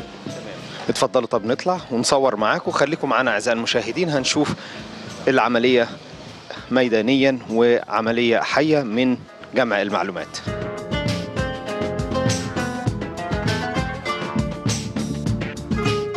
نحن الآن مع مندوبي تعداد السكان تحديدا في المبنى 56 تعدادي. هندخل ونعمل إعاشة حية لرصد وعملية آه، وضع البيانات في التابلت الخاص بتعداد السكان. اتفضلوا اتفضلوا تعداد السكاني. السلام عليكم. السلام عليكم آه، إحنا قناة الحياة فندم وإحنا جايين بنعمل آه، آه، إعاشة حية ورصد لعملية مندوب تعداد السكان بياخد بيانات من حضراتكم. فهل أنتوا حابين إن إحنا نصور وهم بياخدوا من حضراتكم البيانات؟ اتفضل سعد. اتفضلي يا أستاذة ريهام. يا فندم هيسألوا بس حضراتكم شوية أسئلة كده بخصوص تعداد السكان. حضرتك مقيم هنا في الشقة؟ تمام. حضرتك رب الأسرة؟ رب الأسرة هنا في الشقة اللي أنا بكلم حضرتك منها. تمام. آه، شقة حضرتك يا فندم دي في الدور الأرضي.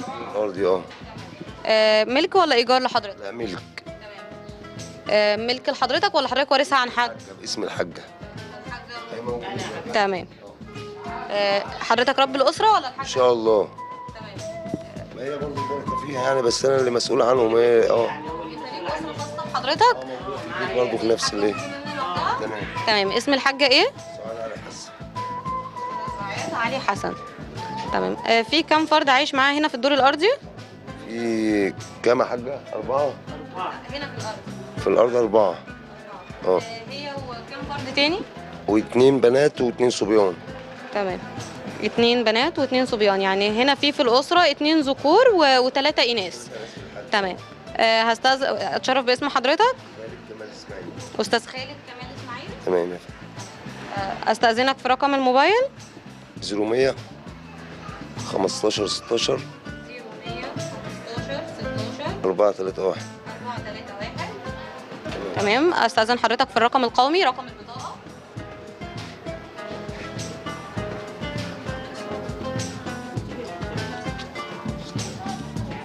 من الشمال ولا خد حاجة؟ خدي آه.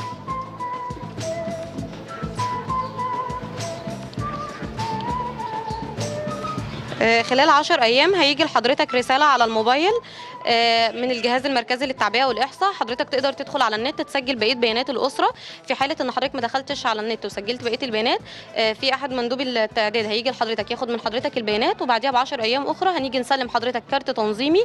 الكارت ده بمثابة قيد عائلي هتتعامل بيه مع حكومية آه، آه، خاصة بالأسرة اللي موجودة هنا في الشقة. تمام متشكرة ليك جدا. السلام عليكم. أنا بسأل حضرتك كتر خيرك. آه، آه، بنشكرك على مدى تع- تعاونك وتجاوبك مع مندوبي تعداد السكان. عايز أسأل حضرتك أنت آه، ليه تعاونت معاه؟ والله برضه يعتبر مصلحة ليا ولعيالي. يعني على أساس برضه يبقى كل مثلا طفل أو كل مثلا فرد متسجل مثلا في إيه؟ ببياناته قاعدة بيانات يبقى برضه بعد كده في المستقبل إن شاء الله يبقى خير ليهم. وإحنا عايزين إيه أكتر من كده؟ بعض المواطنين بيتخوفوا آه، من مندوب تعداد السكان وحتى في البعض بيقفلوا الباب في وشهم ما بيردوش. فعلا حصل الكلام دوت والراجل برضه كان جاي بايه على ان الناس فاكرة في ضرايب في مش عارف الناس تعبانة برضه وفاكرة إن في إيه الموضوع هيخش في تأمينات وضرايب وبتاع ممكن تيجي عليهم بغرامة.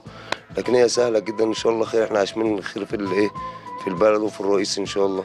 انت تعرف ان من خلال التعداد السكاني ده ان في خدمات الدولة ممكن توفرها لكم وتوفر للمواطنين مش زي ما الناس متخوفة كده زي ما حضرتك بتقول ضرايب وتبقى في خايفين ان تيجي عليهم مشاكل. ان شاء الله برضو يبقى الدور الاكبر على الاعلام على برضو على حضراتكم على أساس تبقى إيه تفهموا الناس بقدر اكبر الناس غلابة وبس عايزين حد يفهمهم إيه بصراحة وايه ويكون في برضه إيه يعني إيه اطمئنان من ناحية الشعب الايه للإعلام وللناس اللي ماسكة في البلد. وربنا المعين ان شاء الله. بشكرك يا فندم شكرا جزيلا. وده كان لقائنا النهارده من داخل إحدى ال ال ال الأسر من مع إحدى الأسر من داخل إحدى الشقق. هنوصل هنتواصل معاكم ومع مندوبي تعداد السكان. وهنروح أيضا آه، آه، إحدى ال- العقارات. ناخد آه، البيانات الخاصة بتعداد السكان. تابعوا معنا.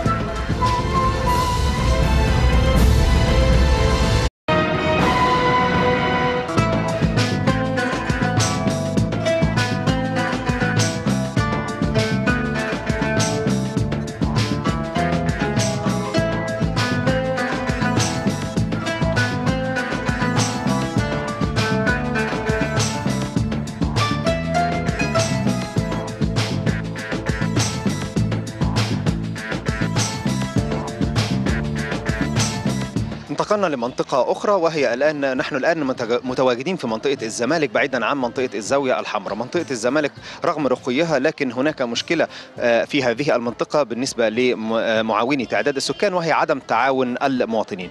معي الآن مندوبي تعداد السكان. بتعرف بيهم بتعرف بيك فندم؟ صبري حسين مفتش منطقة الزمالك. منيرة بدوي معاون من الزمالك. آه، أستاذ صبري إحنا رايحين فين دلوقتي؟ داخلين إن شاء الله على العمارة دي حسب خط سير المعاون. وهنبدا ناخد أول أسرة أو أول شقة ايا كانت إذا كانت منشأة أو أسرة سكنية. هنشوف التوصيف بتاعها لما نخش إن شاء الله. ماشي اتفضلوا.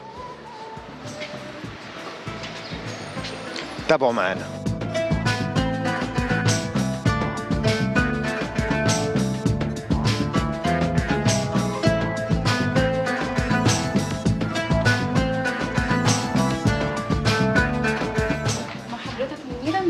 المركزي العام للتعبئة والإحصاء.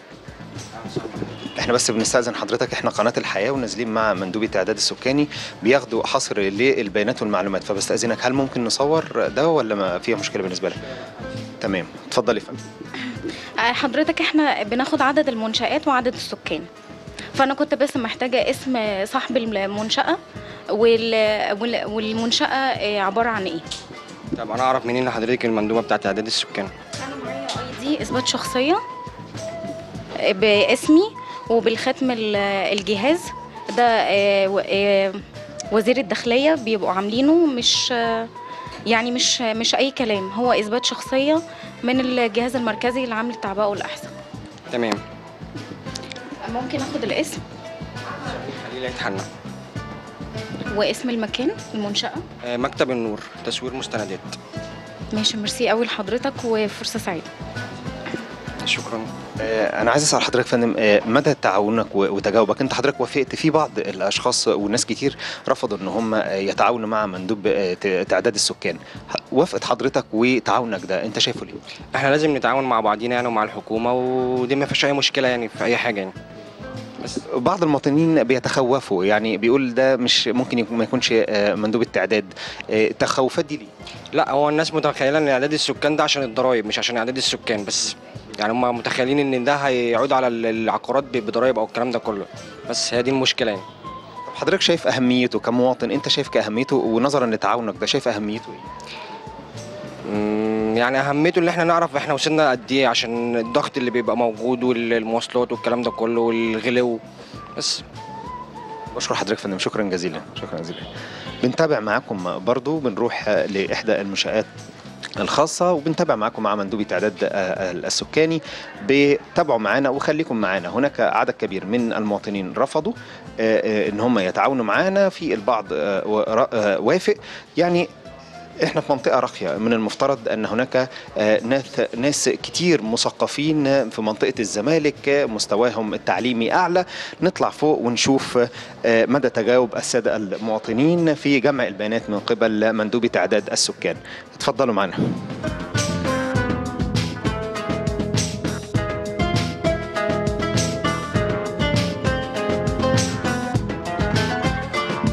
يعني إحنا حاولنا إن إحنا نجمع بيانات من إحدى الأسر رفضوا وتخوفوا وتحججوا أن هناك ضيوف معاهم ورفضوا إن هم يصوروا. ده اللي كان مندوبي تعداد السكان بيتكلموا فيه إن عدد كبير من الأسر بترفض إنها تسجل وتجمع البيانات الخاصة بها. قد يكون البعض بيتخوف قد يكون البعض غير متعاون. نروح في أماكن تانية ونحاول ناخد آه، آراء المواطنين في جمع البيانات وبنحاول مع آه، مندوبي تعداد السكان إن إحنا نذلل العقبات ونغير مفهوم المواطنين تجاه مندوبي تعداد السكان. ابقوا معنا.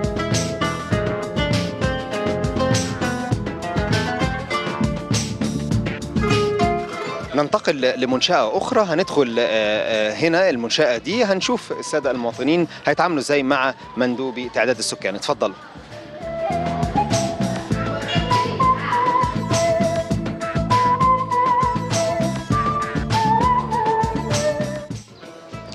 للأسف سكان العقار بالكامل رفضوا آه، تعاونهم مع مندوبي تعداد آه، س- السكان. دي مش أول عمارة أو مش أول شقة إن إحنا بنتعامل معاها. للأسف رفضوا التصوير أساسا من المفترض أن منطقة الزمالك إحدى المناطق الراقية. هناك تعليم عالي بها مثقفين على أعلى مستوى على عكس منطقة الزاوية الحمراء اللي كان هناك تعاون كثير من آه، منطقة الزاوية الحمراء وهي مفترض أنها منطقة شعبية.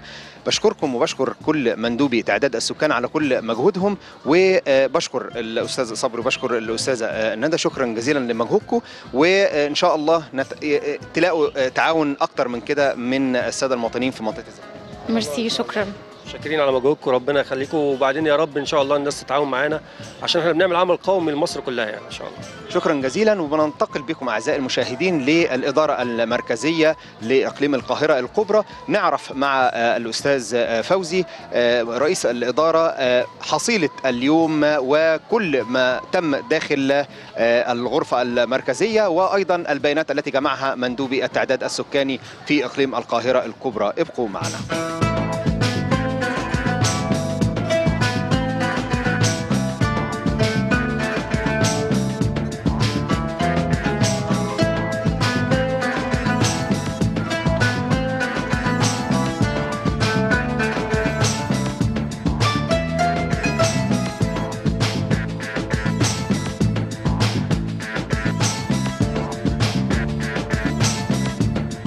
أهلا بكم من جديد أعزائي المشاهدين وبعد يوم شاق وبعد آه، رحلة طويلة من العمل مع مندوبي تعداد السكان جئنا مرة أخرى إلى الإدارة المركزية. هنتعرف من خلال الأستاذ فوزي محمد حلمي رئيس الإدارة المركزية لإقليم القاهرة الكبرى على أهم ما تم إنجازه من خلال آه، عدد المندوبين المنتشرين في آه، القاهرة الكبرى.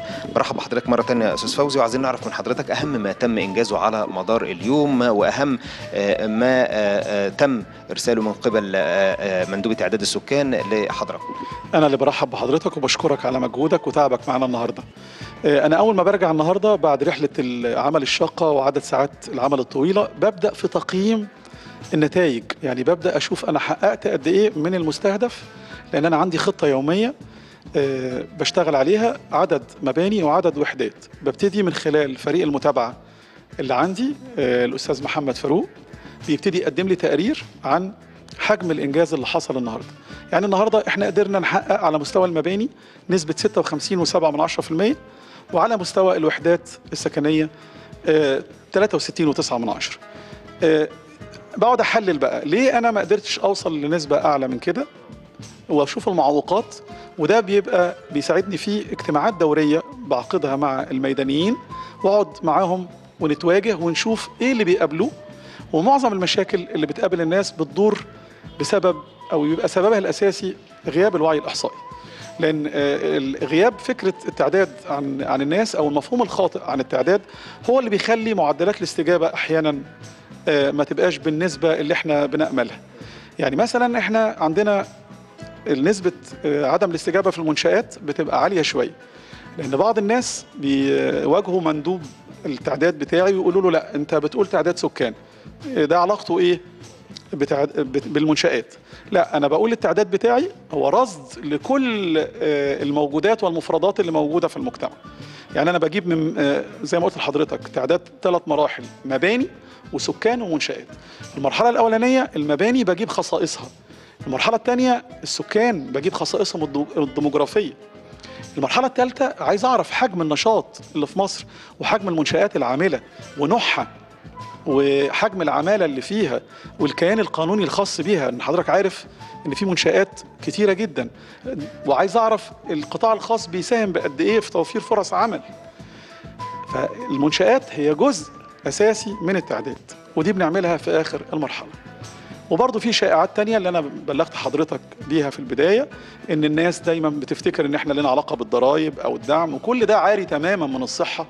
وأنا هخلي الأولاد اللي معايا يتكلموا مع حضرتك باستفاضة في النقطة دي. آه، أنا بتعرف عليك بتعرف عليك؟ ريهام عبد العزيز معاون في منطقة الزاوية الحمراء. ريهام إيه اللي رصدتيه النهارده على مدار اليوم؟ آه، كان في بعض الأسر رفضت آه، تتعاون معاكي أسباب الرفض إيه المشاكل اللي واجهتيها؟ هو في أزيد من 70% ناس بتستجيب الناس اللي بترفض الاستجابة بتبقى بسبب إن هم مت... يعني مش. مش متواجدين أو ناس كبار في السن وما فيش حد مسؤول موجود يقدر يدي البيانات آه، في بعض الناس شايفين إن هم آه، عدم البيانات آه، مش مش بي ملوش راجع صدى أو ملوش استفادة فإحنا من خلال دورنا بنوضح لهم أهمية آه، الادلاء بالبيانات بخصوص الأرقام الإحصائية وإزاي بتفيدهم في إن إحنا نقدر نقيم كل منطقة نسبة آه، عدم تواجد مرافق أو نسبة خدمات متواجدة بشكل قليل. وبنبدا برضو نعرفهم إن في استفادة مباشرة من خلال الكروت التنظيمية اللي بيستلموها وهيبدأوا يتعاملوا بيها مع الجهات الحكومية. آه، في بعض الناس بتبقى آه، يعني خايفة تدي بياناتها مش عارفة أنا مين ببدأ أعرفها أنا مين والجهة اللي أنا تابعة ليها ال- البيانات بتاعتها بتبقى في سرية كاملة. بالنسبة برضو المنشآت آه، زي ما أستاذ فوزي قال.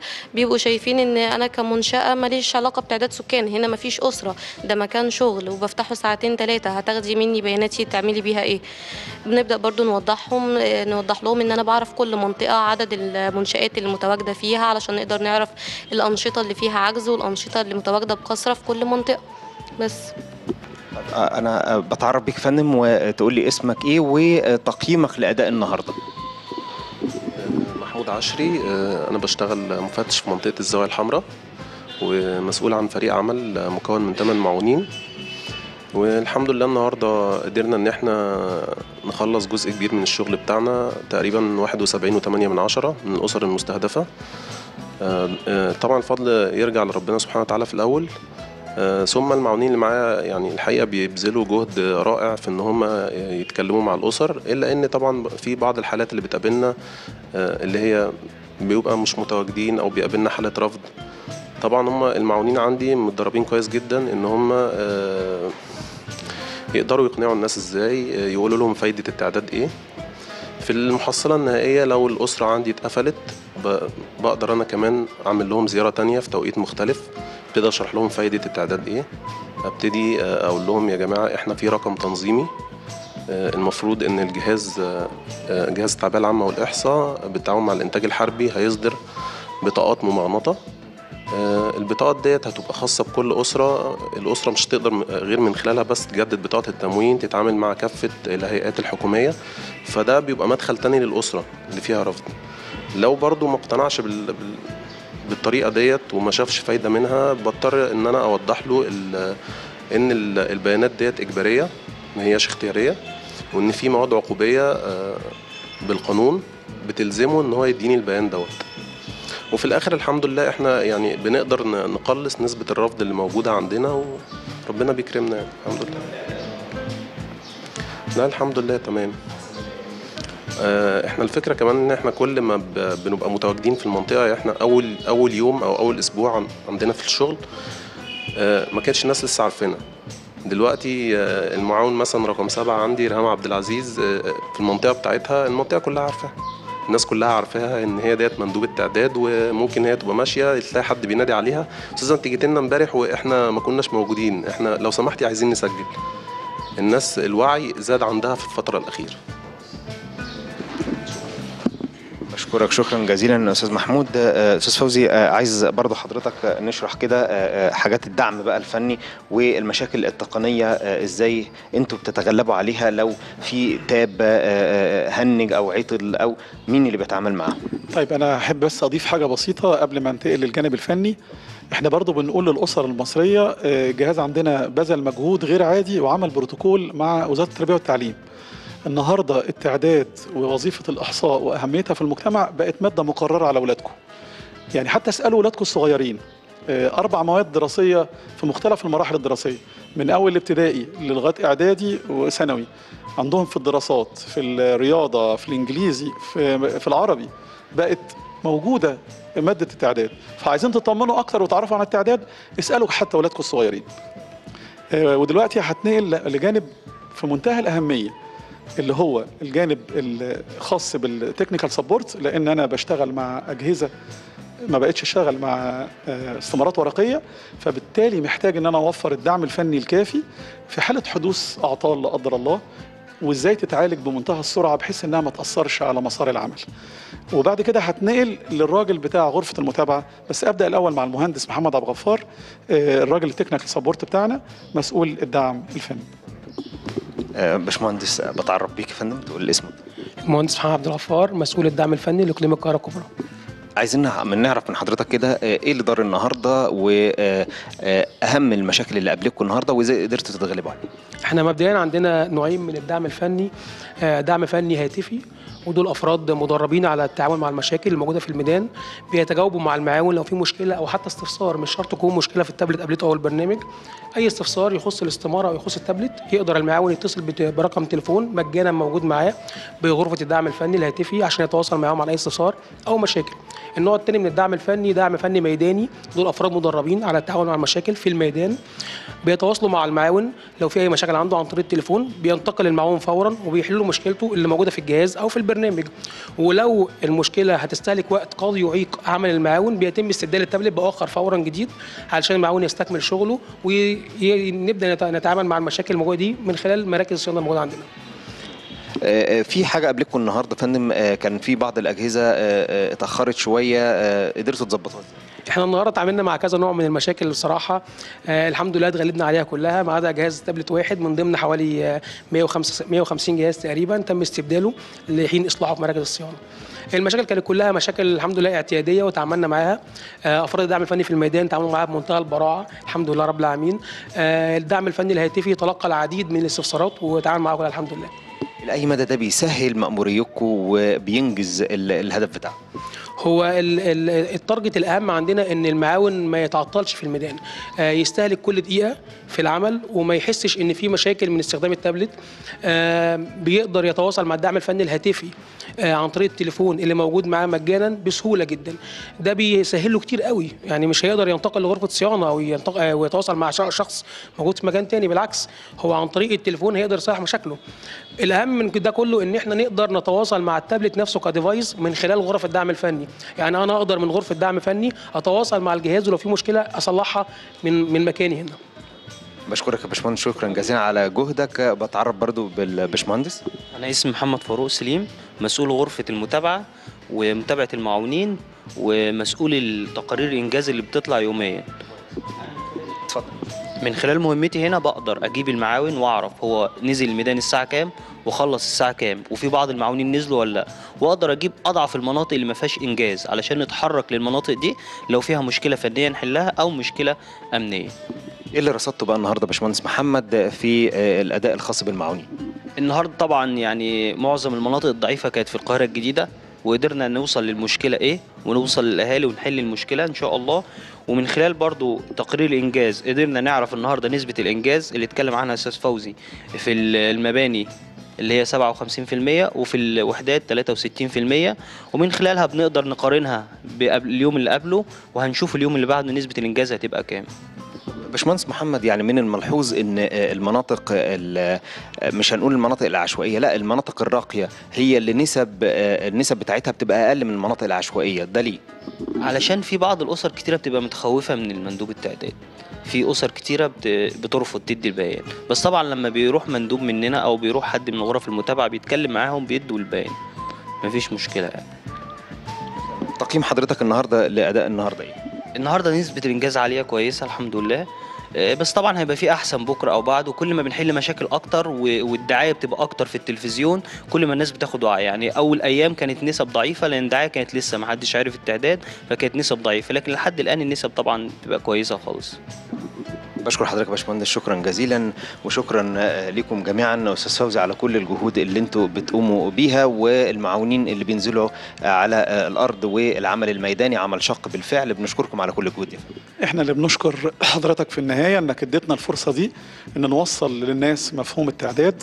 والإعلام بيلعب دور كبير قوي إن هو يعني يزود نسبة الوعي الإحصائي ويعرف الناس دور الجهاز ودور التعداد. بشكرك. شكرا جزيلا. ودي كانت حلقتنا النهارده أعزائي المشاهدين من الإدارة المركزية لإقليم القاهرة الكبرى.